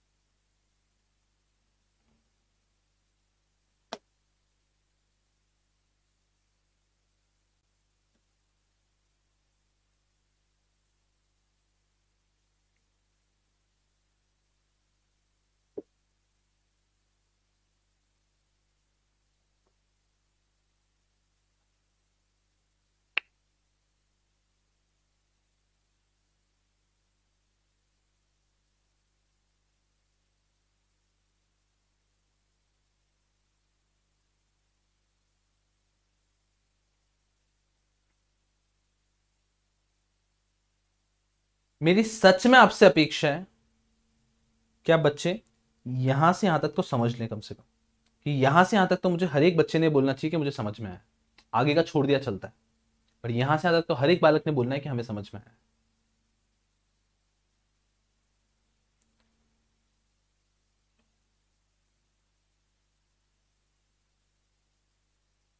very good very good very good very good perfect चलिए। क्या लिखा है यहाँ पे? Inter se transfer of shares between immediate relative कि इमीडिएट रिलेटिव ने अगर शेयर्स आपस में ट्रांसफ़र किए हैं तो इससे भी ओपन ऑफ़र ट्रिगर नहीं होगा। प्रमोटर्स ने अगर आपस में शेयर्स ट्रांसफ़र किए तो इससे भी ओपन ऑफ़र ट्रिगर नहीं होगा। कंपनी सब्सिडरी होल्डिंग कंपनी इन्होंने भी आपस में शेयर्स ट्रांसफ़र किए हैं। तो इससे भी ओपन ऑफ़र ट्रिगर नहीं होगा कि होल्डिंग ने सब्सिडरी को दे दी सब्सिडरी ने होल्डिंग को दे दी, आपस में दिए तो भी ट्रिगर नहीं होगा। एंड पीएससी ने भी पर्सन एक्टिंग इन कॉन्सर्ट ने भी आपस में दे दी तो ट्रिगर नहीं होगा। सुना। अब प्रमोटर और पीएससी में क्या लिखा हुआ है? फॉर लास्ट थ्री ईयर मतलब एक ऐसा व्यक्ति जो पिछले तीन सालों से प्रमोटर है। एक ऐसा व्यक्ति जो पिछले तीन सालों से पीएससी है। ऐसे लोगों ने अगर आपस में ट्रांसफ़र किया है तो ओपन ऑफ़र ट्रिगर नहीं होगा।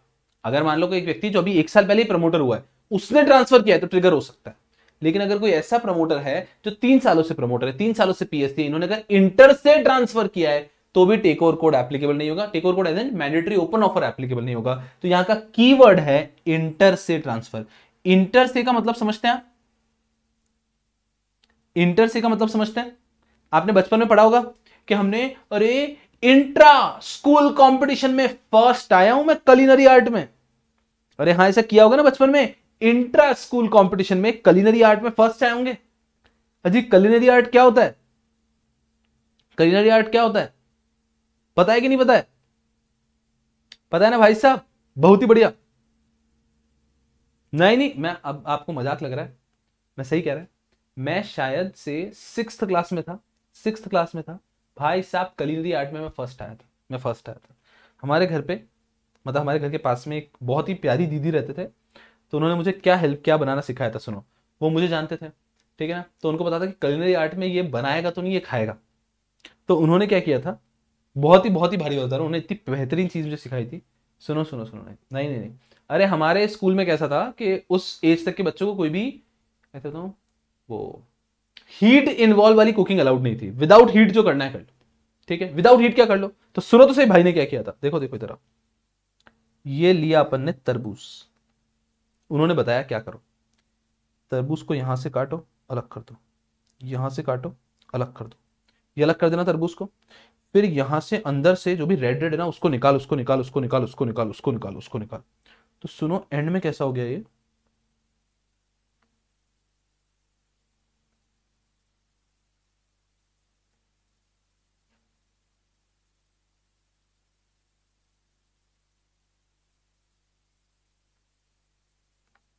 ऐसा तरबूज हो गया था। आपको समझ में आ रहा है? ऐसा तरबूज हो गया था, जिसके अंदर ऊपर से पकड़ने का भी टाइम लगा और पूरा हॉलो हो गया। और यहाँ पे अंगूर डाल दिए, यहाँ पे पपाया डाल दिया, यहाँ पे 25 तरह के भाई साहब अंदर फ्रूट डाल दिए। मैं आपको क्या कह रहा हूँ? इतना आनंद आ गया उसको देख के कि क्या बताऊँ? आय हाय हाय, क्या दिख रहा था वो? भाई साहब, क्या दिख रहा था वो? एकदम ज़बरदस्त। और इसमें क्या था, सबसे चीज़ है कि लीस्ट वेस्टेज जनरली लोगों ने क्या बनाया? लोगों ने वो रोज बनाया पता नहीं क्या क्या बनाया तो उसमें वेस्टेज बहुत हुआ। यहाँ पे वेस्टेज ही नहीं हुआ ना कुछ। जो तरबूज निकाला, वो तो निकालते निकालते खा गया। आप समझ रहे हो? तो जब तरबूज निकाल रहे थे ना, तब उसको ऐसे निकाला, इकट्ठा किया, ऐसे नहीं कि ऐसे खा खा के पूरा निकाल रहे, ऐसे निकालो तो निकालते निकालते खा गए ना। वेस्टेज वहाँ पे भी नहीं हो रहा है। तो मतलब ना बनाते टाइम वेस्टेज ना बाद में वेस्टेज भाई साहब कलिनी आर्ट एक नंबर, बहुत आगे जाएँगे लाइफ में। चलो आ जाओ आ जाओ यहाँ पे। तो मैं कह रहा था इंट्रा स्कूल कंपटीशन था वो। और भाई साहब फ़र्स्ट आए थे। बहुत अच्छा लगा, बहुत अच्छा लगा, ठीक है? अब होता है, एक इंट्रा स्कूल होता है स्कूल के अंतर्गत। इंटर स्कूल हमारी स्कूल किसी और स्कूल से आपस में लड़ती थी। तो उस प्रकार की बातें करेंगे। फोकस करते हैं यहाँ पे भी हम लोग। चलो। फोकस करते हैं यहाँ पे हम लोग। चल। फोकस फोकस फोकस आगे। अब कब होगा कंपटीशन मैं लूँगा बहुत बढ़िया बहुत बढ़िया ठीक है ना? बहुत ही बढ़िया। आपको मैं एक मंथ पहले बता दूँगा, आप तैयारी शुरू कर देना इशिता, ठीक है? तो चिंता मत करो कुछ भी। यस यस यस चलो let's continue so acquisition pursuant to inter se transfer inter se transfer आपस में ट्रांसफ़र कर रहे हैं कौन? प्रमोटर आपस में कर रहे हैं इमीडिएट रिलेटिव आपस में कर रहे हैं कंपनी सब्सिडी होल्डिंग आपस में कर रही है, या फिर पीएससी आपस में कर रहे हैं तो इससे भी ट्रिगर नहीं होगा, इससे भी ट्रिगर नहीं होगा। अब इसके नीचे बस एक कंडीशन है। कि इंटर से ट्रांसफ़र पे ट्रिगर तो नहीं होगा। इंटर से ट्रांसफ़र पे ट्रिगर तो नहीं होगा but there is one condition there is one condition what is the condition how for the purpose of availing exemption under this clause अगर inter se transfer पे आपको एग्जामेशन चाहिए तो आपको एक चीज़ ध्यान रखनी है फोकस करो यहाँ पे।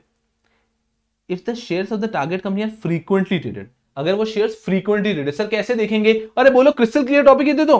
फ्रीक्वेंटली ट्रेडेड कैसे चेक टच कर कैसे चेक करते हैं? How do we check whether the shares are frequently traded or not tell me how do you check whether the shares are frequently traded or not आप क्या करते हैं? देखते हैं कि उस कंपनी के पिछले 12 मंथ्स में टोटल नंबर ऑफ़ शेयर्स कितने थे?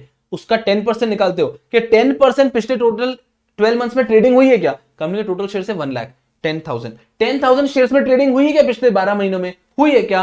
Frequently traded share very good very good very good very good very good perfect so अगर पिछले बारह महीने में हमें लगता है कि हाँ ट्वेल्व मंथ्स में कम से कम भाई साहब टेन परसेंट तो ट्रेडिंग हुई ही है तो फ्रीक्वेंटली ट्रेडेड शेयर माना जाता है। तो if the shares are frequently traded तो भाई जो इंटर से ट्रांसफ़र हो रहा है the acquisition price per share shall not be higher by more than 25% of the volume weighted average market price for period of 60 trading days क्या करना है? पिछले 60 ट्रेडिंग डेज़ का volume weighted average market price लेंगे। वो जो market price आया, उस से 25 परसेंट ज़्यादा। इतना अलाउड है, इससे ज़्यादा पे इंटर से ट्रांसफ़र नहीं हो सकता। वापस बोल रहा हूँ ध्यान से सुनना। पिछले 60 ट्रेडिंग डेज़ का वॉल्यूम वेटेड एवरेज प्राइस ले लो। कि पिछले 60 ट्रेडिंग डेज़ का मार्केट में जो भी ट्रेडिंग हो रही है, उसका वॉल्यूम वेटेड एवरेज प्राइस ले लिया अपन ने। जिस स्टॉक एक्सचेंज सबसे ज़्यादा ट्रेडिंग हो रही है, उसका ही लेते हैं हर जगह पे। तो हमने वॉल्यूम वेटेड एवरेज प्राइस ले लिया, ठीक है? वॉल्यूम वेटेड एवरेज प्राइस ले लिया। ये मान लो आया थाउज़ेंड तो इसमें ट्वेंटी और भी ले लो। ट्वेल्व उससे ज़्यादा पे इंटर से ट्रांसफ़र नहीं होना चाहिए। उससे ज़्यादा पे इंटर से ट्रांसफ़र हुआ तो फिर अलाउड नहीं है, फिर ओपन ऑफ़र ट्रिगर हो जाएगा। तो ओपन ऑफ़र कब तक ट्रिगर नहीं होगा? जब तक इंटर से ट्रांसफ़र हो रहा है ना, किस प्राइस पे हो रहा है? Volume weighted average price for last sixty days plus twenty और दे दो। इतना, इतने लिमिट तक अगर आप इंटर से ट्रांसफ़र कर रहे हो तो कोई ओपन ऑफ़र ट्रिगर नहीं होगा। तो कोई ओपन ऑफ़र ट्रिगर नहीं होगा। अब वही अगर शेयर्स फ्रीक्वेंटली ट्रेडेड नहीं है तो हमारा मर्चेंट बैंकर और इश्यूअर बैठ के प्राइस डिटरमिन करते हैं। If the shares are infrequently traded the acquisition price shall not be higher by 25% of the price determined infrequently के अंदर, हमारा इश्यूअर वगैरह बैठ के फॉर्मूला से वैल्यूएशन पैरामीटर से एक प्राइस डिटरमिन करते हैं, उसमें 25% ऐड कर दो। ठीक है? यहाँ तक, इस रेट तक, इस प्राइस तक आप इंटर से ट्रांसफ़र कर सकते हो। उससे ज़्यादा पे इंटर से ट्रांसफ़र करना अलाउड नहीं है। उससे ज़्यादा पे इंटर से ट्रांसफ़र करना अलाउड नहीं now are you understanding the point of inter se transfer तो एकदम इजी सा पॉइंट है। इंटर से ट्रांसफ़र किया। इंटर से ट्रांसफ़र किया ना तो भी मैंडेटरी ओपन ऑफ़र नहीं आता है। इंटर से ट्रांसफ़र किया का मैंडेटरी ओपन ऑफ़र आपके ऊपर नहीं आता। मैंडेटरी ओपन ऑफ़र आपके ऊपर नहीं आता। ठीक है? एकदम simple where are we we are done with ten points सुना मेरी बात को अच्छे से। वैसे मैंने शुरू में ही कहा था आपको कि ये ऐसे पॉइंट्स इनका मैं सिर्फ़ आपको एक आइडिया देना चाहता हूँ। बट ये टेन तक थे इंपॉर्टेंट पॉइंट्स कंपैरेटिवली भी, कि मुझे लगता है कि अगर कल को कभी क्वेश्चन बनता भी है तो इन टेन में से बनेगा। आगे के पॉइंट्स तो सिर्फ़ आपके सिलेबस में दिए हैं, इसलिए आगे आ रहे देखो, कुछ ऐसे पॉइंट्स जो मैंने रेड मार्क किए तो आपको मतलब समझेगा भी नहीं क्या पॉइंट है बट फिर भी आपके सिलेबस में जो इलेवंथ पॉइंट है, मैं आपको बताने की कोशिश करता हूँ, एकदम सिंपल रखो। टेन कंपैरेटिवली भी रेलिवेंट पॉइंट्स थे।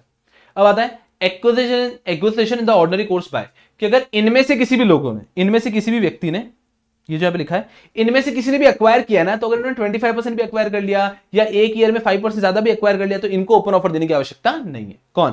पहला अंडर हमने अंडर को अपॉइंट किया था।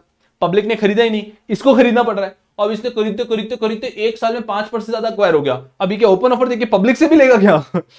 एक तो पब्लिक ने लिया नहीं, उस चक्कर में इसको खरीदना पड़ा। अब इसके पास अगर मोर देन फाइव परसेंट हो गया, या फिर इसके पास ट्वेंटी फाइव परसेंट टच हो गया, समझो बेसिक कंडीशन तो ये वापस पब्लिक को भी ओपन ऑफ़र देते जाएगा क्या कि सुनो, जिन्होंने नहीं खरीदा था, उसका तो मैंने लिया, अब जिन्होंने खरीदा है, वो भी मुझे बेच दो।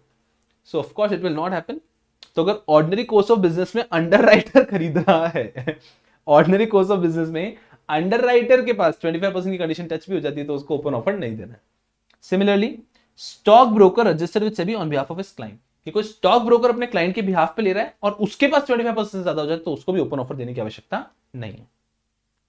Merchant banker register with SEBI. Merchant banker खरीदता है, उसको भी देने की आवश्यकता नहीं है।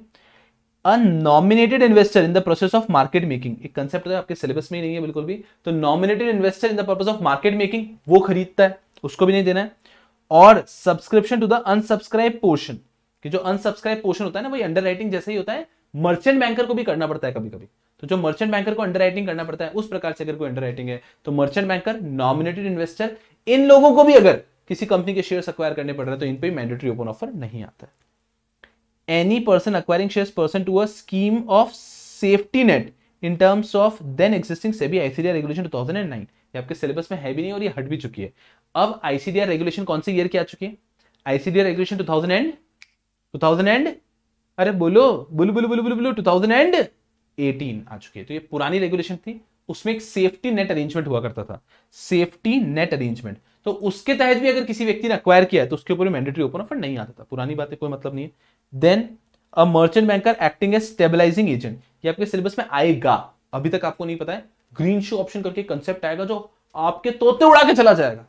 ऐसा कंसेप्ट है ग्रीन शो ऑप्शन उस दिन भी मैं आपको बोलूँगा कि अपनी मेड को पढ़ाना आज टॉपिक तो उसमें से ग्रीन शो ऑप्शन तब स्टेबलाइजिंग एजेंट पता पता चलेगा।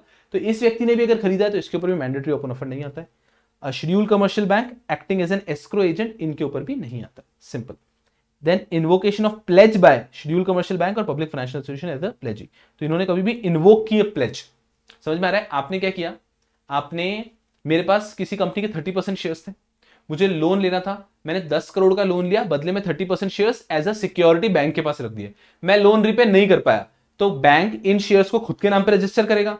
तो खुद के नाम पे रजिस्टर करेगा थर्टी परसेंट टच करा दो दो दो दो ओपन ऑफ़र दे दो। अरे नहीं नहीं, जूते दे दो। अरे नहीं नहीं, ऐसे कैसे जूते दे दो? अरे ऐसे कैसे ओपन ऑफ़र दे दो?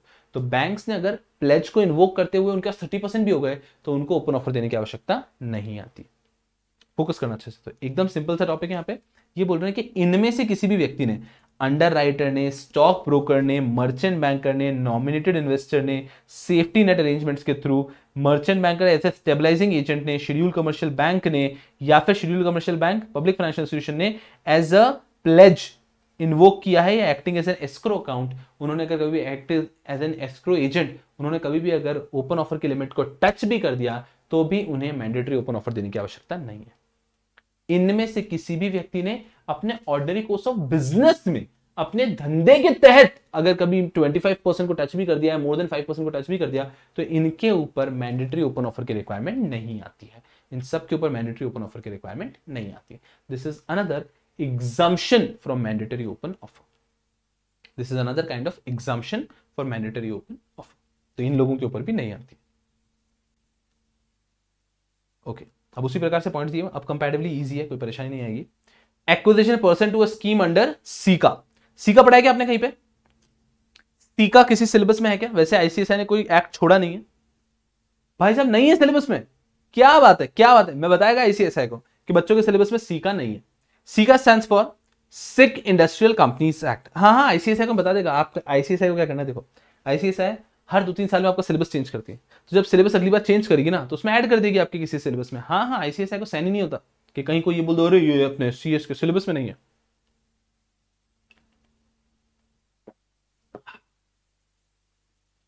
Focus SICA. Sick industrial companies act ऐसी ओवरव्यू देता हूँ एक। एक ऐसा एक्ट है कि कोई भी कंपनी अगर मरने वाली है, मरने वाली एज एन एक ऐसी स्थिति में है वो कंपनी की, कभी भी उसकी बैंक हो सकती है वाइंडिंग अप हो सकती है। सिक कंपनी है लॉस मेकिंग यूनिट है और कभी भी बंद हो सकती है। मुझे बताओ गवर्नमेंट कभी भी चाहती है क्या कि कंपनी बंद हो जाए? गवर्नमेंट कभी भी चाहती है कंपनी बंद हो जाए। जी नहीं गवर्नमेंट कभी भी नहीं चाहती कंपनी बंद हो जाए। यहाँ तक कि गवर्नमेंट चाहती है कि इवन इफ़ तेरे से लॉस मेकिंग कंपनी ना बंद नहीं होनी चाहिए। गवर्नमेंट चाह रही है even if a loss making company तो वो बंद नहीं होना चाहिए। नहीं नहीं it is not just about tax it is not just about tax loss making company कौन सा टैक्स भर रही है आपको? लॉस मेकिंग कंपनी कौन सा टैक्स भर रही है आपको? लेकिन government does not want that even a loss making company should be close why यार अगर एक कंपनी क्लोज होती ना सबसे बड़ा प्रॉब्लम आता है अनएम्प्लॉयमेंट एक कंपनी भले लॉस मेकिंग है, उसके यहाँ पे हज़ारों वर्कर होते हैं। तो जिस दिन कंपनी बंद है, वो सब हज़ारों वर्कर रोड पे आएँगे। जॉब नहीं है जॉब नहीं है गवर्नमेंट का नाम खराब होता है। गवर्नमेंट बीच में क्या करती थी? ऐसी रोड खुदाती थी, भराती थी, खुदाती थी, भराती थी। क्यों? भाई सब कुछ मन रहेगा, क्या चलता था पता नहीं। खुदाएगी, भराएगी खुदाएगी, भराएगी, बस लोगों को लगना चाहिए, काम है उनके पास और पैसे दे रहे हैं उनको। सो इलॉजिकल हालत हो जाती है। So government does not ever want does not ever want कि किसी भी हालत के अंदर कंपनीज़ बंद हो तो ये क्या करती है? कोई भी सिक कंपनीज़ होती है ना तो उसको रिवाइव करने की कोशिश करते हैं। इमेजिन करो कोई सिक कंपनी ऐसे समुद्र में डूबती हुई कंपनी है, उसको निकाल के बाहर लाएँगे। फिर ऐसे उसके छाती पे धक धक धक धक करेगी गवर्नमेंट कि हमसे पैसा ले लो, हमसे लोन ले लो, हमसे ज़मीन ले लो फ्री इलेक्ट्रिसिटी ले लो, पर चलो चलो चलो चलो चलो चलो। ऐसे क्या करेगी? पेट पे धोखा देगी। और फिर भी अगर समुन्द्र से बाहर लाने वाले व्यक्ति को खूब पेट पे मारा, फिर भी उसके जान में जान नहीं आ रही है तो फिर क्या करते हैं आप सबको पता है? तो फिर क्या करते हैं आप सबको है फिर वो क्या बोलती है? गवर्नमेंट बोलती है, सुनो, ए, मैं नहीं देगी माउथ टू माउथ वो बोलती है, सुनो, कोई बड़ी कंपनी आओ। कोई बड़ी कंपनी आओ, इसको माउथ टू माउथ दो और इसको ज़िंदा करो। फिर गवर्नमेंट चीख चिल्ला के एक बड़ी कंपनी को बुलाती है, ए, टाटा इधर ए, टाटा इधर टाटा तू इधर टाटा सुन मेरी बात इधर फिर टाटा को बुलाती है, सुनो, ज़बरदस्त माउथ टू माउथ दो और इसको ज़िंदा करो। फिर टाटा क्या करती है? उस कंपनी को अक्वायर करती है और फिर अक्वायर करने के बाद उस कंपनी को रिवाइव करने की कोशिश करती है। तो बहुत बार इंडिया में ऐसा हुआ है कि कंपलसरी एक्विजिशन करवाया गवर्नमेंट ने कि नहीं यार, ये सिक कंपनी बंद पड़ जाए कि आप इसको अक्वायर करो और आप मैनेज करो। or there is a section under Companies Act that central government can order any company to acquire any company in public interest. Central government can order any company to acquire any company in public interest तो पहले central government caeca के अंदर खुद कोशिश करती है जग जा रहे, जग जा रहे, जग जा रहे। लेकिन अगर वो नहीं मानता है तो फिर किसी को सुनो, तुम लोग उठाओ उसको, उठा के लेके जाओ। नहीं नहीं, तुमको उठाना पड़ेगा। तो it is just this is how it is ठीक है? और गवर्नमेंट ऑफ़ कोर्स बेनिफिट देती है उनको। So SICA is sick industrial companies sick companies के लिए होता है। ठीक है? तो अगर मान लीजिए, किसी को बोला है गवर्नमेंट ने कहा ये तुम माउट टू माउथ दो ये तुम माउट टू माउथ दो। और फिर वो कंपनी माउट टू देंगे ये पब्लिक प्लेस पे ऐसे करती है पुलिस चल इसको अंदर कर पुलिस इसको अंदर कर पब्लिक प्लेस पे क्या क्या करता है यहाँ पे? भाई, ये क्या बात हुई यार? ऐसे थोड़ी ना चलेगा यहाँ पे। तो इट इज़ जस्ट कि अगर गवर्नमेंट ने बोला कि तुम इसको अक्वायर करो। जब आप अक्वायर कर रहे हो तो जैसे ही आपके पास में थर्टी परसेंट शेयर हो जाते हैं, ए ओपन ऑफ़र दो ओपन ऑफ़र दो ओपन ऑफ़र दो तो ऐसे थोड़ा ना चलेगा भाई। तो ऐसे थोड़ा ना चलेगा। तो अगर आप सीका के अंडर, अंतर्गत, सीका के अंतर्गत अगर किसी कंपनी को अक्वायर कर रहे हैं तो वहाँ पे आपको ओपन ऑफ़र देने की आवश्यकता नहीं है। ओपन ऑफ़र देने की आवश्यकता नहीं है। चलो तो एक्विजिशन परसेंट वो स्कीम मेरे अंडर सेक्शन 18 ऑफ़ सी का ठीक है फोकस करो आ जाओ second acquisition pursuant to a scheme of arrangement involving the target company as a transferor company or a transferee company pursuant to an order of tribunal. ये easy है। ये easy है, अगला वाला डिफ़िकल्ट है बट अभी अगला वाला मत देखना। अभी अगला वाला मत देखना। ये क्या कह रहे हैं?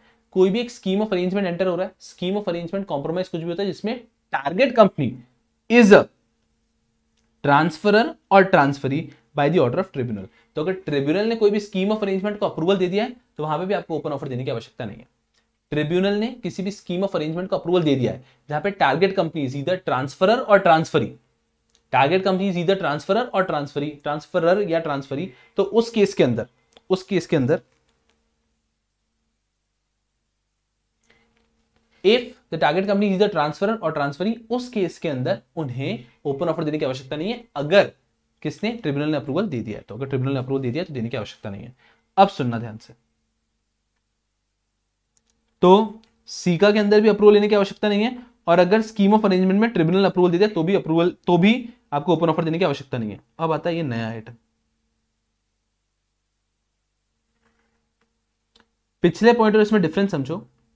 यहाँ पे भी स्कीम ऑफ़ अरेंजमेंट है यहाँ पे भी अरेंजमेंट है। तो ऊपर भी एक चलिए आवाज़ फोकस यहाँ पे भी स्कीम ऑफ़ अरेंजमेंट है, यहाँ पे भी अरेंजमेंट है। The difference is in the first point point number thirteen we can say in point number thirteen company the target company is either transfer और transferee target company either transfer और transferee तो if the target company either transfer और transferee कोई transfer और transferee और tribunal ने approval दे दिया है तो मैंडेटरी ओपन ऑफ़र देने की आवश्यकता नहीं है। अब यहाँ पे क्या हो रहा है सुनना? Target company is not the transfer not transferee target company ना तो ट्रांसफरर है, ना ही ट्रांसफरी है। और इस केस में आपके ऊपर मैंडेटरी ओपन ऑफ़र आ रहा है। इस केस में आपके ऊपर मैंडेटरी ओपन ऑफ़र आ रहा है। तो arrangement not directly involving the target company transfer और ट्रांसफरी कि target company is not not transfer not transferee तो टारगेट कंपनी के शेयर से बस, वो हम लोग आपस में एक्सचेंज कर रहे हैं। और इस अरेंजमेंट के कारण, इस अरेंजमेंट के कारण अगर मैंडेटरी ओपन ऑफ़र आ रहा है तो वहाँ पे भी एग्जामेशन मिलेगा बट उस केस में आपको ये दो कंडीशन कंप्लाई करनी होगी। सुनना। स्कीम ऑफ़ अरेंजमेंट की भी दो कंडीशन है। स्कीम ऑफ़ अरेंजमेंट की भी दो पॉइंट है। पहला पॉइंट क्या है? एक स्कीम ऑफ़ अरेंजमेंट जहाँ पे target company is either transfer और ट्रांसफरी आपने ट्रिब्यूनल का अप्रूवल लिया, आपको मैंडेटरी ओपन ऑफ़र देने की आवश्यकता नहीं। दूसरा केस स्कीम ऑफ़ अरेंजमेंट है जहाँ पे ट्रांसफरर या ट्रांसफरी नहीं है टारगेट कंपनी तो वहाँ पे you to comply with these two conditions क्या? पहला the component of cash and cash equivalent in the consideration paid being less than 25% of the consideration कि स्कीम का जो टोटल कंसिडरेशन है, उसमें जो कैश में आप पे कर रहे हो, वो ट्वेंटी से लेस होना चाहिए। Should be less than twenty जो कैश कॉम्पोनेट में पेमेंट हो रहा है it should be less than twenty the second condition is where after implementation of the scheme of arrangement person directly और indirectly holding at least thirty three percent of the voting right in the combined entity as same as the person who held entire voting right before the implementation of the scheme ये क्या कह रहे हैं? कि scheme के पहले scheme के पहले उस कंपनी में, स्कीम के पहले उस कंपनी में जो लोग 100 परसेंट शेयर अक्वायर करके बैठे थे, वही लोग कम से कम 33 परसेंट शेयर अक्वायर करने चाहिए इन द न्यू एंटिटी वही लोग एटलीस्ट 33 परसेंट शेयर अक्वायर करने चाहिए in the new entity sir नहीं समझ रहा है हैवी जा रहा है। कोई बात नहीं, कोई बात नहीं, सुनो। इस तरबूज को साइड में रखते हैं और इधर आते हैं। जैसे बायबैक के दो पॉइंट थे राइट उसी प्रकार से यहाँ पर भी दो पॉइंट है स्कीम ऑफ़ अरेंजमेंट के। कि स्कीम ऑफ़ अरेंजमेंट एग्जामेशन में आता है, लेकिन दो पॉइंट में आता है। केयरफुली समझो।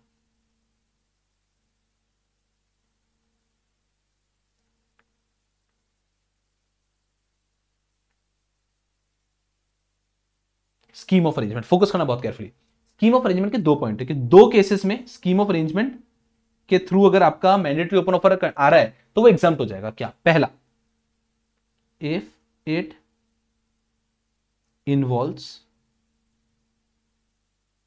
target company as transferor और ट्रांसफरी देन ट्रिब्यूनल का अप्रूवल है, बात खत्म एग्ज़ाम है। If the scheme involve target company as transfer और ट्रांसफ़र ट्रिब्यूनल का अप्रूवल है मतलब एग्ज़ाम पे बात खत्म but if it does not involve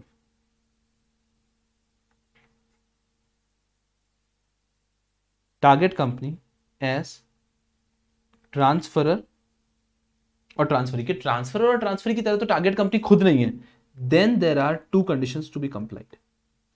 First condition is cash to be paid under the scheme. इस स्कीम के तहत जो भी कैश हो रहा है, cash to be paid should be less than 25 percent. कि जो टोटल कंसिडरेशन आपको पे करना पड़ रहा है स्कीम के तहत, कैश उसमें 25 परसेंट से कम होना चाहिए। And the second is at least one third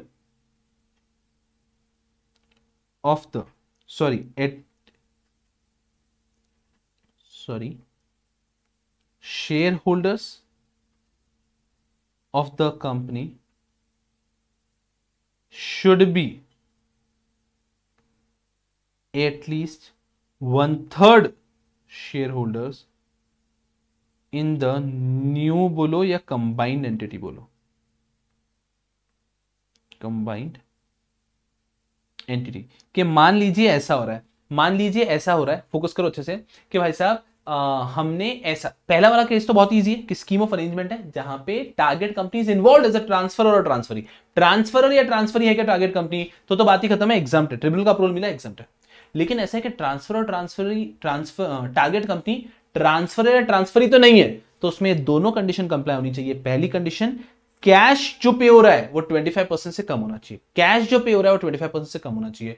और जो पहले शेयर होल्डर्स थे वो नई कंपनी में भी कम से कम वन थर्ड के तो शेयर होल्डर्स होने ही चाहिए ऐसा नहीं सर अभी भी यार ये सर तो आप जैसे बोलते हो ना कि जनरली क्रिस्टल क्लियर नहीं बट आइडिया होने से तो आइडिया में भी मज़ा नहीं आ रहा है कोई बात नहीं रुको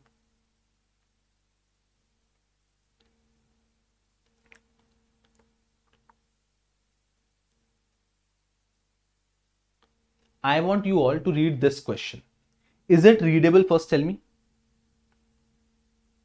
Is it readable? Yes, yes, readable. Read this question. Read this question.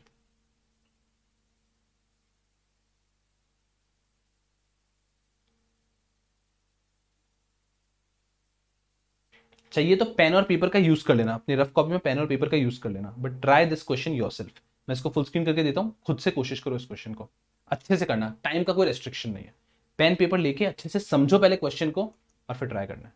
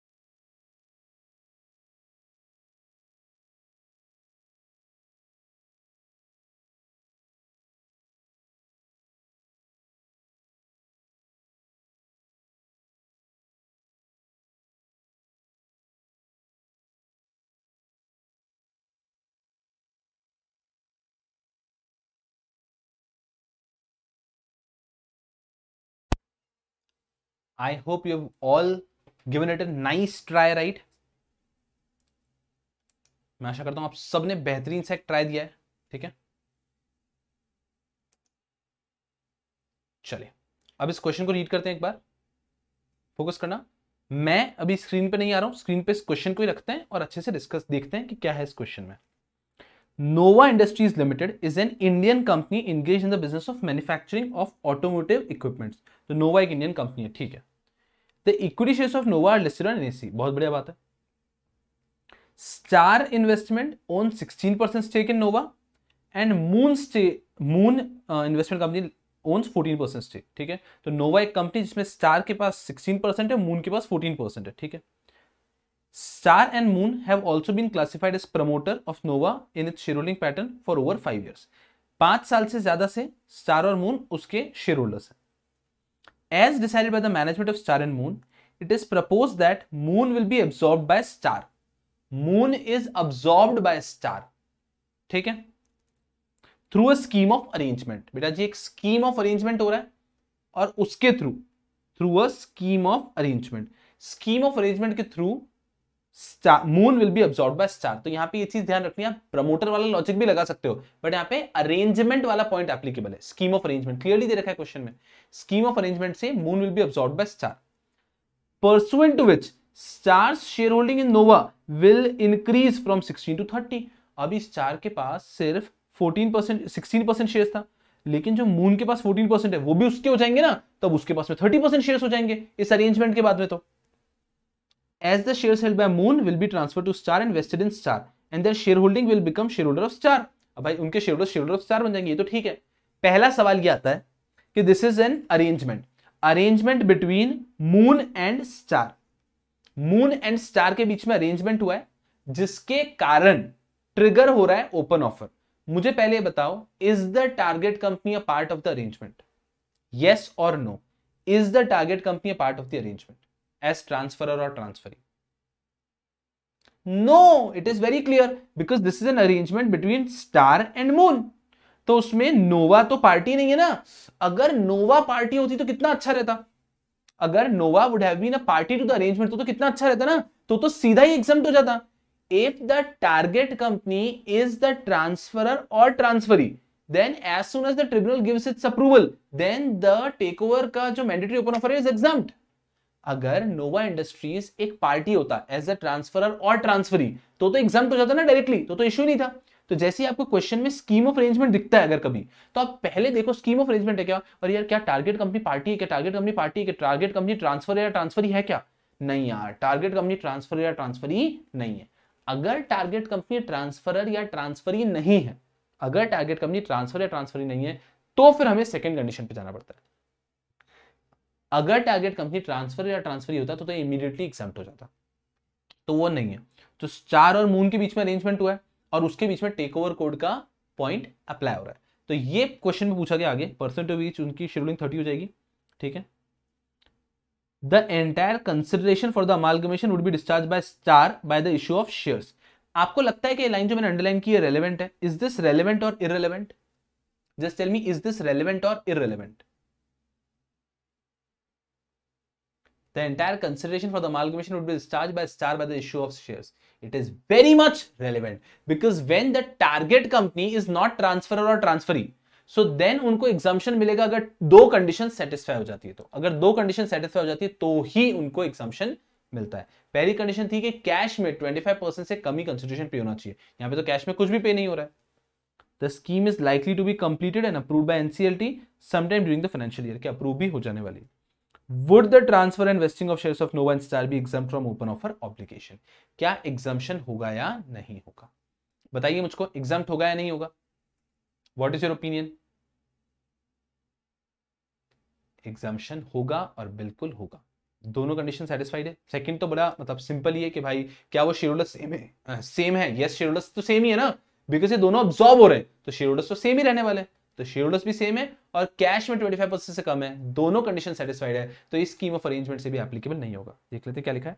Answer SEBI substantial acquisition of shares in take over regulation two thousand eleven the acquisition of shares of target company person to scheme of arrangement sanction by NCL provides an exemption to an acquire from making an open offer subject to the following condition ये दो condition satisfy कर देते हो तो exam क्या? Consideration paid in cash should be less than 25% and post implementation of the scheme the person holding at least 33% voting right in the combined entity are the same as person who held the entire voting right before the implementation जो पहले share holder थे वो नए में कम से कम 33% तो होने ही चाहिए यहाँ पे तो ऑब्जॉर्व हो रही है तो सारे शेयर होल्डर्स ही आ रहे हैं ठीक है ना तो ऐसा कह रहे हैं कि नए में कम से कम 33% तो उनके पास होने ही चाहिए तो यहाँ पे तो कोई डाउट ही नहीं है फोकस करो Star is eligible to avail this exemption since अब दोनों पॉइंट को लिखा है the acquisition of shares of the target company is being made pursuant to scheme of arrangement ये तो of course NCLT ने approval दे दिया the entire consideration is being discharged in terms of share so there is no portion of cash third post merger since star will issue its share to the shareholders of moon star अपने shares shareholder of moon को देने वाला है such shareholders will hold more than 33% stake in star obvious सी बात है कि star में 33% से ज़्यादा shares उनके comfortably हो ही जाने वाले तो this is something presume this is something presume जब आप उनको ऑब्जॉर्ब कर रहे हो तो ऑब्जॉर्ब करने का मतलब तो यही हुआ ना कि आप उनको अब अपनी कंपनी के शेयर्स देंगे। ऑब्जॉर्ब का मतलब यही हुआ कि आप उसको अपनी कंपनी के शेयर्स देंगे। तो ये तीन कंडीशन वैसे भी देखो कैसा है कि when the first two conditions are satisfied तो third is presume to be satisfied unless वो लोग क्वेश्चन में कुछ एक्सप्रेसली आपको देते तो उन्होंने क्लियर हिंट दिया था पहला कि पूरा का पूरा शेयर्स में है एनसीएलटी अप्रूवल दे रहा है तो यहाँ पे it is very much presume कि अब जब वो अब्जॉर्ब हो रहे हैं तो उनको तो नई कंपनी के शेयर्स मिल ही रहे ना। So this was a question through which you can understand this scheme of arrangement in a better fashion मैं आता हूँ फुल स्क्रीन यस पीपल तो अब अगर मैं ये दिखाऊँगा तो आप थोड़ा सा आपको कंफर्टेबल लगेगा कि स्कीम ऑफ़ अरेंजमेंट अगर आ जाता है तो दो चीज़ें हो सकती है। या तो first it involve target company transfer और ट्रांसफरी ये टारगेट कंपनी को ट्रांसफरर या ट्रांसफरी की तरह पार्टी है है तो चलेगा एग्ज़ाम लेकिन अगर टारगेट कंपनी ट्रांसफरर या ट्रांसफ़र की तरह पार्टी नहीं है तो ये दोनों कंडीशन कंप्लाई होनी चाहिए। 25 परसेंट से लेस कैश होना चाहिए और जो पुराने शेयर होल्डर्स थे, वो नए कंपनी में एटलीस्ट 33 परसेंट का शेयर उन्होंने होल्ड करना चाहिए। एटलीस्ट 33 परसेंट का शेयर उन्होंने होल्ड करना चाहिए। ऐसा। और अब अगर उन्होंने पूरे शेयर होल्डिंग का डिटेल नहीं दिया है, कि उनको कितने शेयर्स मिल रहे हैं तो आप प्रिज्यूम कर सकते हैं कि शेयर्स मिल रहे हैं तो थर्टी थ्री परसेंट मिल ही रहे होंगे क्वेश्चन के अंदर, जब उन्होंने डिटेल्स नहीं दिए हैं। तो I guess now it is comparatively understandable थोड़ा सा। तीन ऐसे पॉइंट थे बोनस इशू का राइट इशू का, और स्कीम ऑफ़ अरेंजमेंट का, जिसके अंदर मल्टीपल पॉइंट आ जाते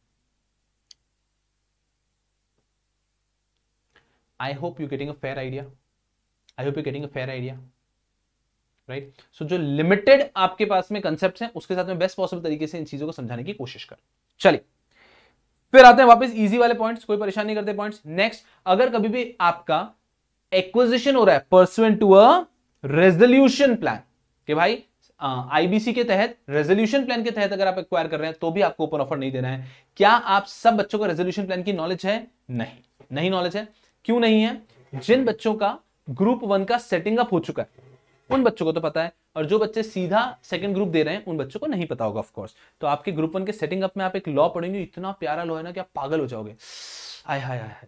और वही लॉ प्रोफेशनल में आएगा हंड्रेड मार्क्स का जो मैं आपको पढ़ाऊँगा, बहुत राज़ी राज़ी होके इंसॉल्वेंसी एंड बैंक कोड 2016 तो इंसॉल्वेंसी एंड बैंक कोड में कंसेप्ट आता है रेजोल्यूशन प्लान का।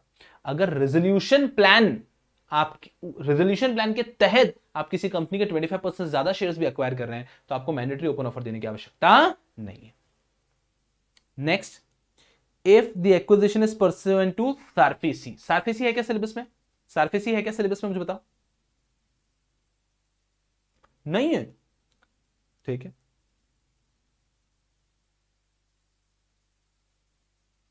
सानिका पूछ रहे रेजोल्यूशन प्लान क्या होता है? रेजोल्यूशन प्लान आपको सेटिंग अप में ही क्लियर होगा। यहाँ पे बताना इंपॉसिबल बिकॉज़ आईबीसी का एक बेस है वो। पूरा सीआईआरपी से बताना होगा which will be impossible right? तो वो जब आप सेटिंग में पढ़ेंगे, तभी पता चलेगा जिन बच्चों का हो चुका है, उनको एक आइडिया लग रहा होगा। रेजोल्यूशन प्लान तो रेजोल्यूशन प्लान के तहत अगर एक्विजिशन है तो भी ओपन ऑफ़र नहीं देना है। नेक्स्ट सार्फेसी के अंतर्गत. अगर सार्फेसी अनदर एक्ट है, उसके अंतर्गत अगर एक्विजिशन है तो भी आपको ओपन ऑफ़र नहीं एप्लीकेबल होगा। जैसे कि हमने सी का दिया था ना, उससे सार्फेसी का भी हल्का सा आइडिया देता हूँ। सार्फेसी में कैसा होता है कि अगर मान लीजिए सिक्योर्ड असेट है किसी के। मान लीजिए मेरे पास में मैंने किसी को लोन दिया था और सिक्योर्ड असेट है। मतलब मैंने लोन दिया था, बदले में उसने मुझे सिक्योरिटी भी दे रखी है। I have a secured asset I have a secured asset कि अगर वो मुझे पैसे नहीं देगा तो मैं इसे बेच के और अपना पैसा रिकवर कर लूँगा। वो मुझे पैसे नहीं देगा तो इसे बेच के मैं मेरा पैसा रिकवर कर लूँगा। ठीक है? तो सार्फेसी इसी के लिए आया था कि सिक्योर्ड क्रेडिटर्स को प्रोटेक्ट करने के लिए। कि यार कैसा हो रहा था? इंडिया में एक बहुत बड़ी प्रॉब्लम थी।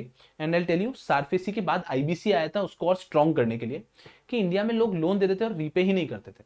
विजय माल्या, नीरव मोदी, ऐसे बहुत सारे केसेस थे जो लोग इंडिया में लोन ले लेते थे और रीपे ही नहीं करते थे। और एक रिपोर्ट आती है जो कि वर्ल्ड बैंक पब्लिश करता है।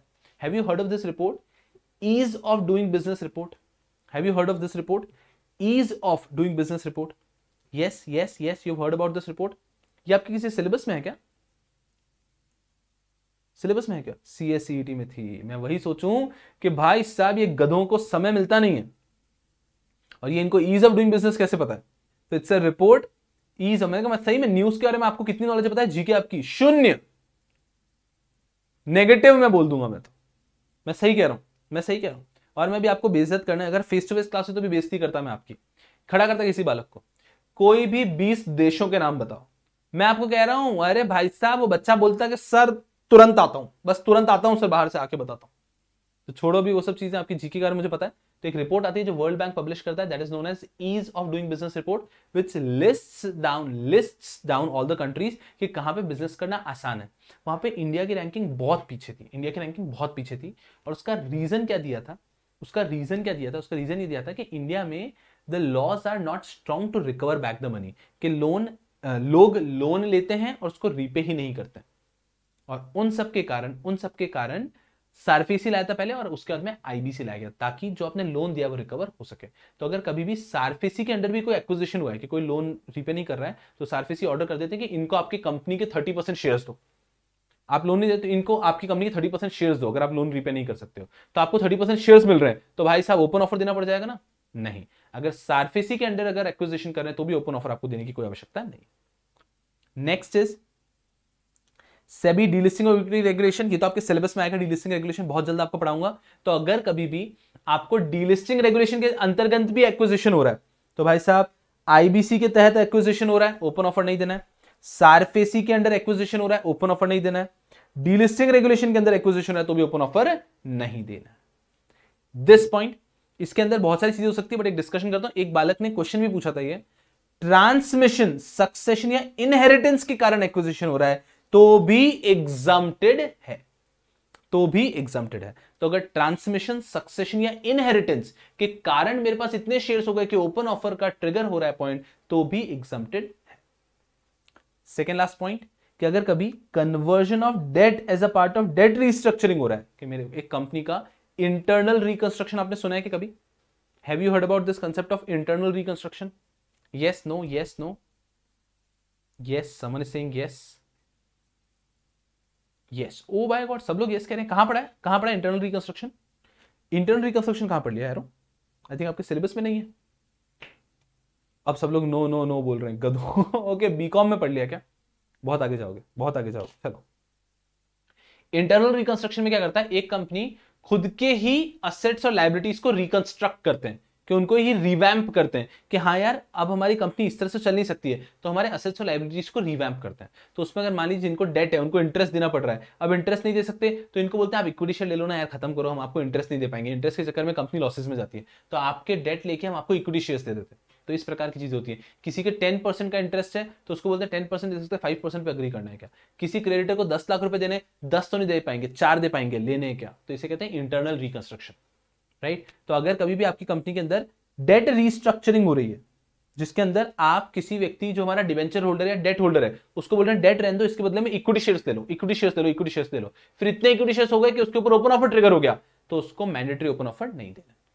तो अगर डेट रिस्ट्रक्चरिंग के अंतर्गत किसी व्यक्ति को इतने शेयर्स मिल गए कि मैंडेटरी ओपन ऑफ़र ट्रिगर हो गया तो भी उसको मैंडेटरी ओपन ऑफ़र नहीं देना। ठीक है? तो डेट रिस्ट्रक्चरिंग के कारण भी ट्रिगर हो गया तो नहीं देना है। एंड लास्ट पॉइंट कंपनी ने फोर फीचर किया है, और उसके कारण भी किसी व्यक्ति के शेयर्स इतने बढ़ गए हैं कि परसेंटेज में 25 परसेंट टच हो गया तो भी नहीं देना है। सेम बायबैक जैसा। सेम बायबैक जैसा। Are we understanding same buyback जैसा। इसकी कंपनी जब शेयर्स को बायबैक करती है कंपनी जब शेयर्स का बायबैक करती है, उस समय पे भी तो सेम चीज़ होती है। कंपनी ने शेयर्स का बायबैक किया तो आपका वोटिंग परसेंटेज बढ़ जाता है, क्योंकि टोटल शेयर्स कम हो गए। सेम फीचर के केस में भी हो सकता है कि अगर कंपनी के शेयर्स फीट हो गए तो कंपनी के शेयर्स कम हो गए तो आपके जो शेयर्स थे, उसमें आपका परसेंटेज इन द कैपिटल बढ़ जाता है। तो उस केस में भी आपको ओपन ऑफ़र देने की आवश्यकता नहीं है। Are you all with me are you all with me So what I expect from you all is that at least you must have gotten a fair idea. कि हाँ एक आइडिया लग रहा है सर हाँ इन केसेस में अगर mandatory open offer trigger भी हो गया तो हमें ओपन ऑफ़र देने की आवश्यकता नहीं होती है। अगर मैंडेटरी ओपन ऑफ़र ट्रिगर भी हो गया तो हमें ओपन ऑफ़र देने की आवश्यकता नहीं होती है। Are we are we understand right right right right right अब मैं चाहता हूँ एग्जामेशन बस अभी तो आप खुद ही पढ़ लो। वो थे ऑटोमेटिक एग्जामेशन के। जो ट्वेंटी एग्जामेशन पढ़े ये ऑटोमेटिक एग्जामेशन है कि यहाँ पे आपको एग्जामेशन दे ही रखा है। लेकिन इसके अलावा इसके अलावा भी आपको कहीं पे लगता है कि नहीं यार, हमको एग्जामेशन चाहिए। And you want to be clear तो आप सेबी को अप्लाई कर सकते हो कि इन सर्कमस्टांसेस में हमको एग्जामेशन मिलेगा क्या? अगर सेबी ने अलाउ कर दिया तो मिलेगा अदरवाइज़ नहीं मिलेगा। तो एग्जामेशन बाय सेबी का मतलब है in any circumstances if you want जैसे यहाँ पर रेगुलेशन 11 लिखा है ना automatic exemption are given under regulation 10 automatic exemptions are given under regulation 10 of takeover code. ठीक है? Takeover regulation SEBI set regulation 2011 के रेगुलेशन नंबर 10 के अंदर दिए गए हैं ऑटोमेटिक एग्जामेशन और regulation 11 talks about exemption by SEBI कि अगर कहीं भी किसी व्यक्ति को लगता है तो वो सेबी को एक एप्लीकेशन लिख के पूछ सकता है कि, सर, इस सर्कमस्टांसेस में मुझे एग्जामेशन मिलेगा क्या? तो अगर सेबी उसको एक्सप्रेसली एग्जामेशन दे देती है सेबी अगर उसको एक्सप्रेसली एग्जामेशन दे देती है तो उसे कहा जाता है exemption by SEBI just give it a read. Just give it a read. Just give it a read.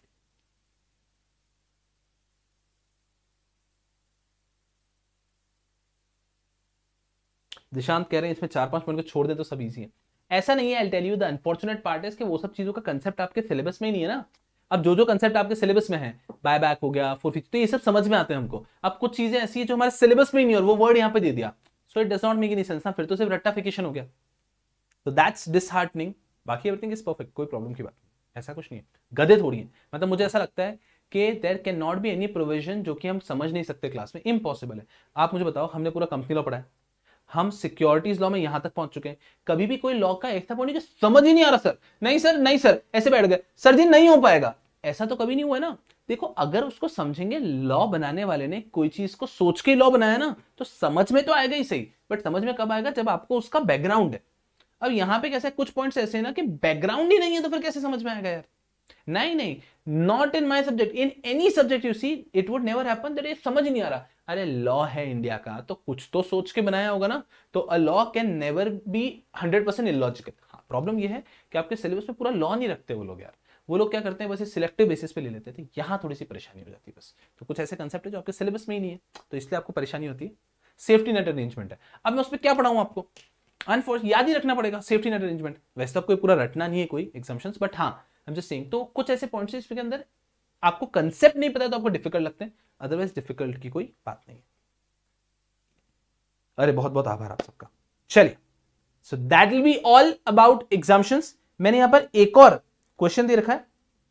यहाँ पे तो ये क्वेश्चन आपको सिंपल रीड करना है, उसका मैंने आंसर भी आपको दे रखा है, सिंपल तरीके से। लोड नहीं लेना है, लेकिन लेकिन लेकिन एक बार इस क्वेश्चन को भी हमें रीड करके रैप अप करना है।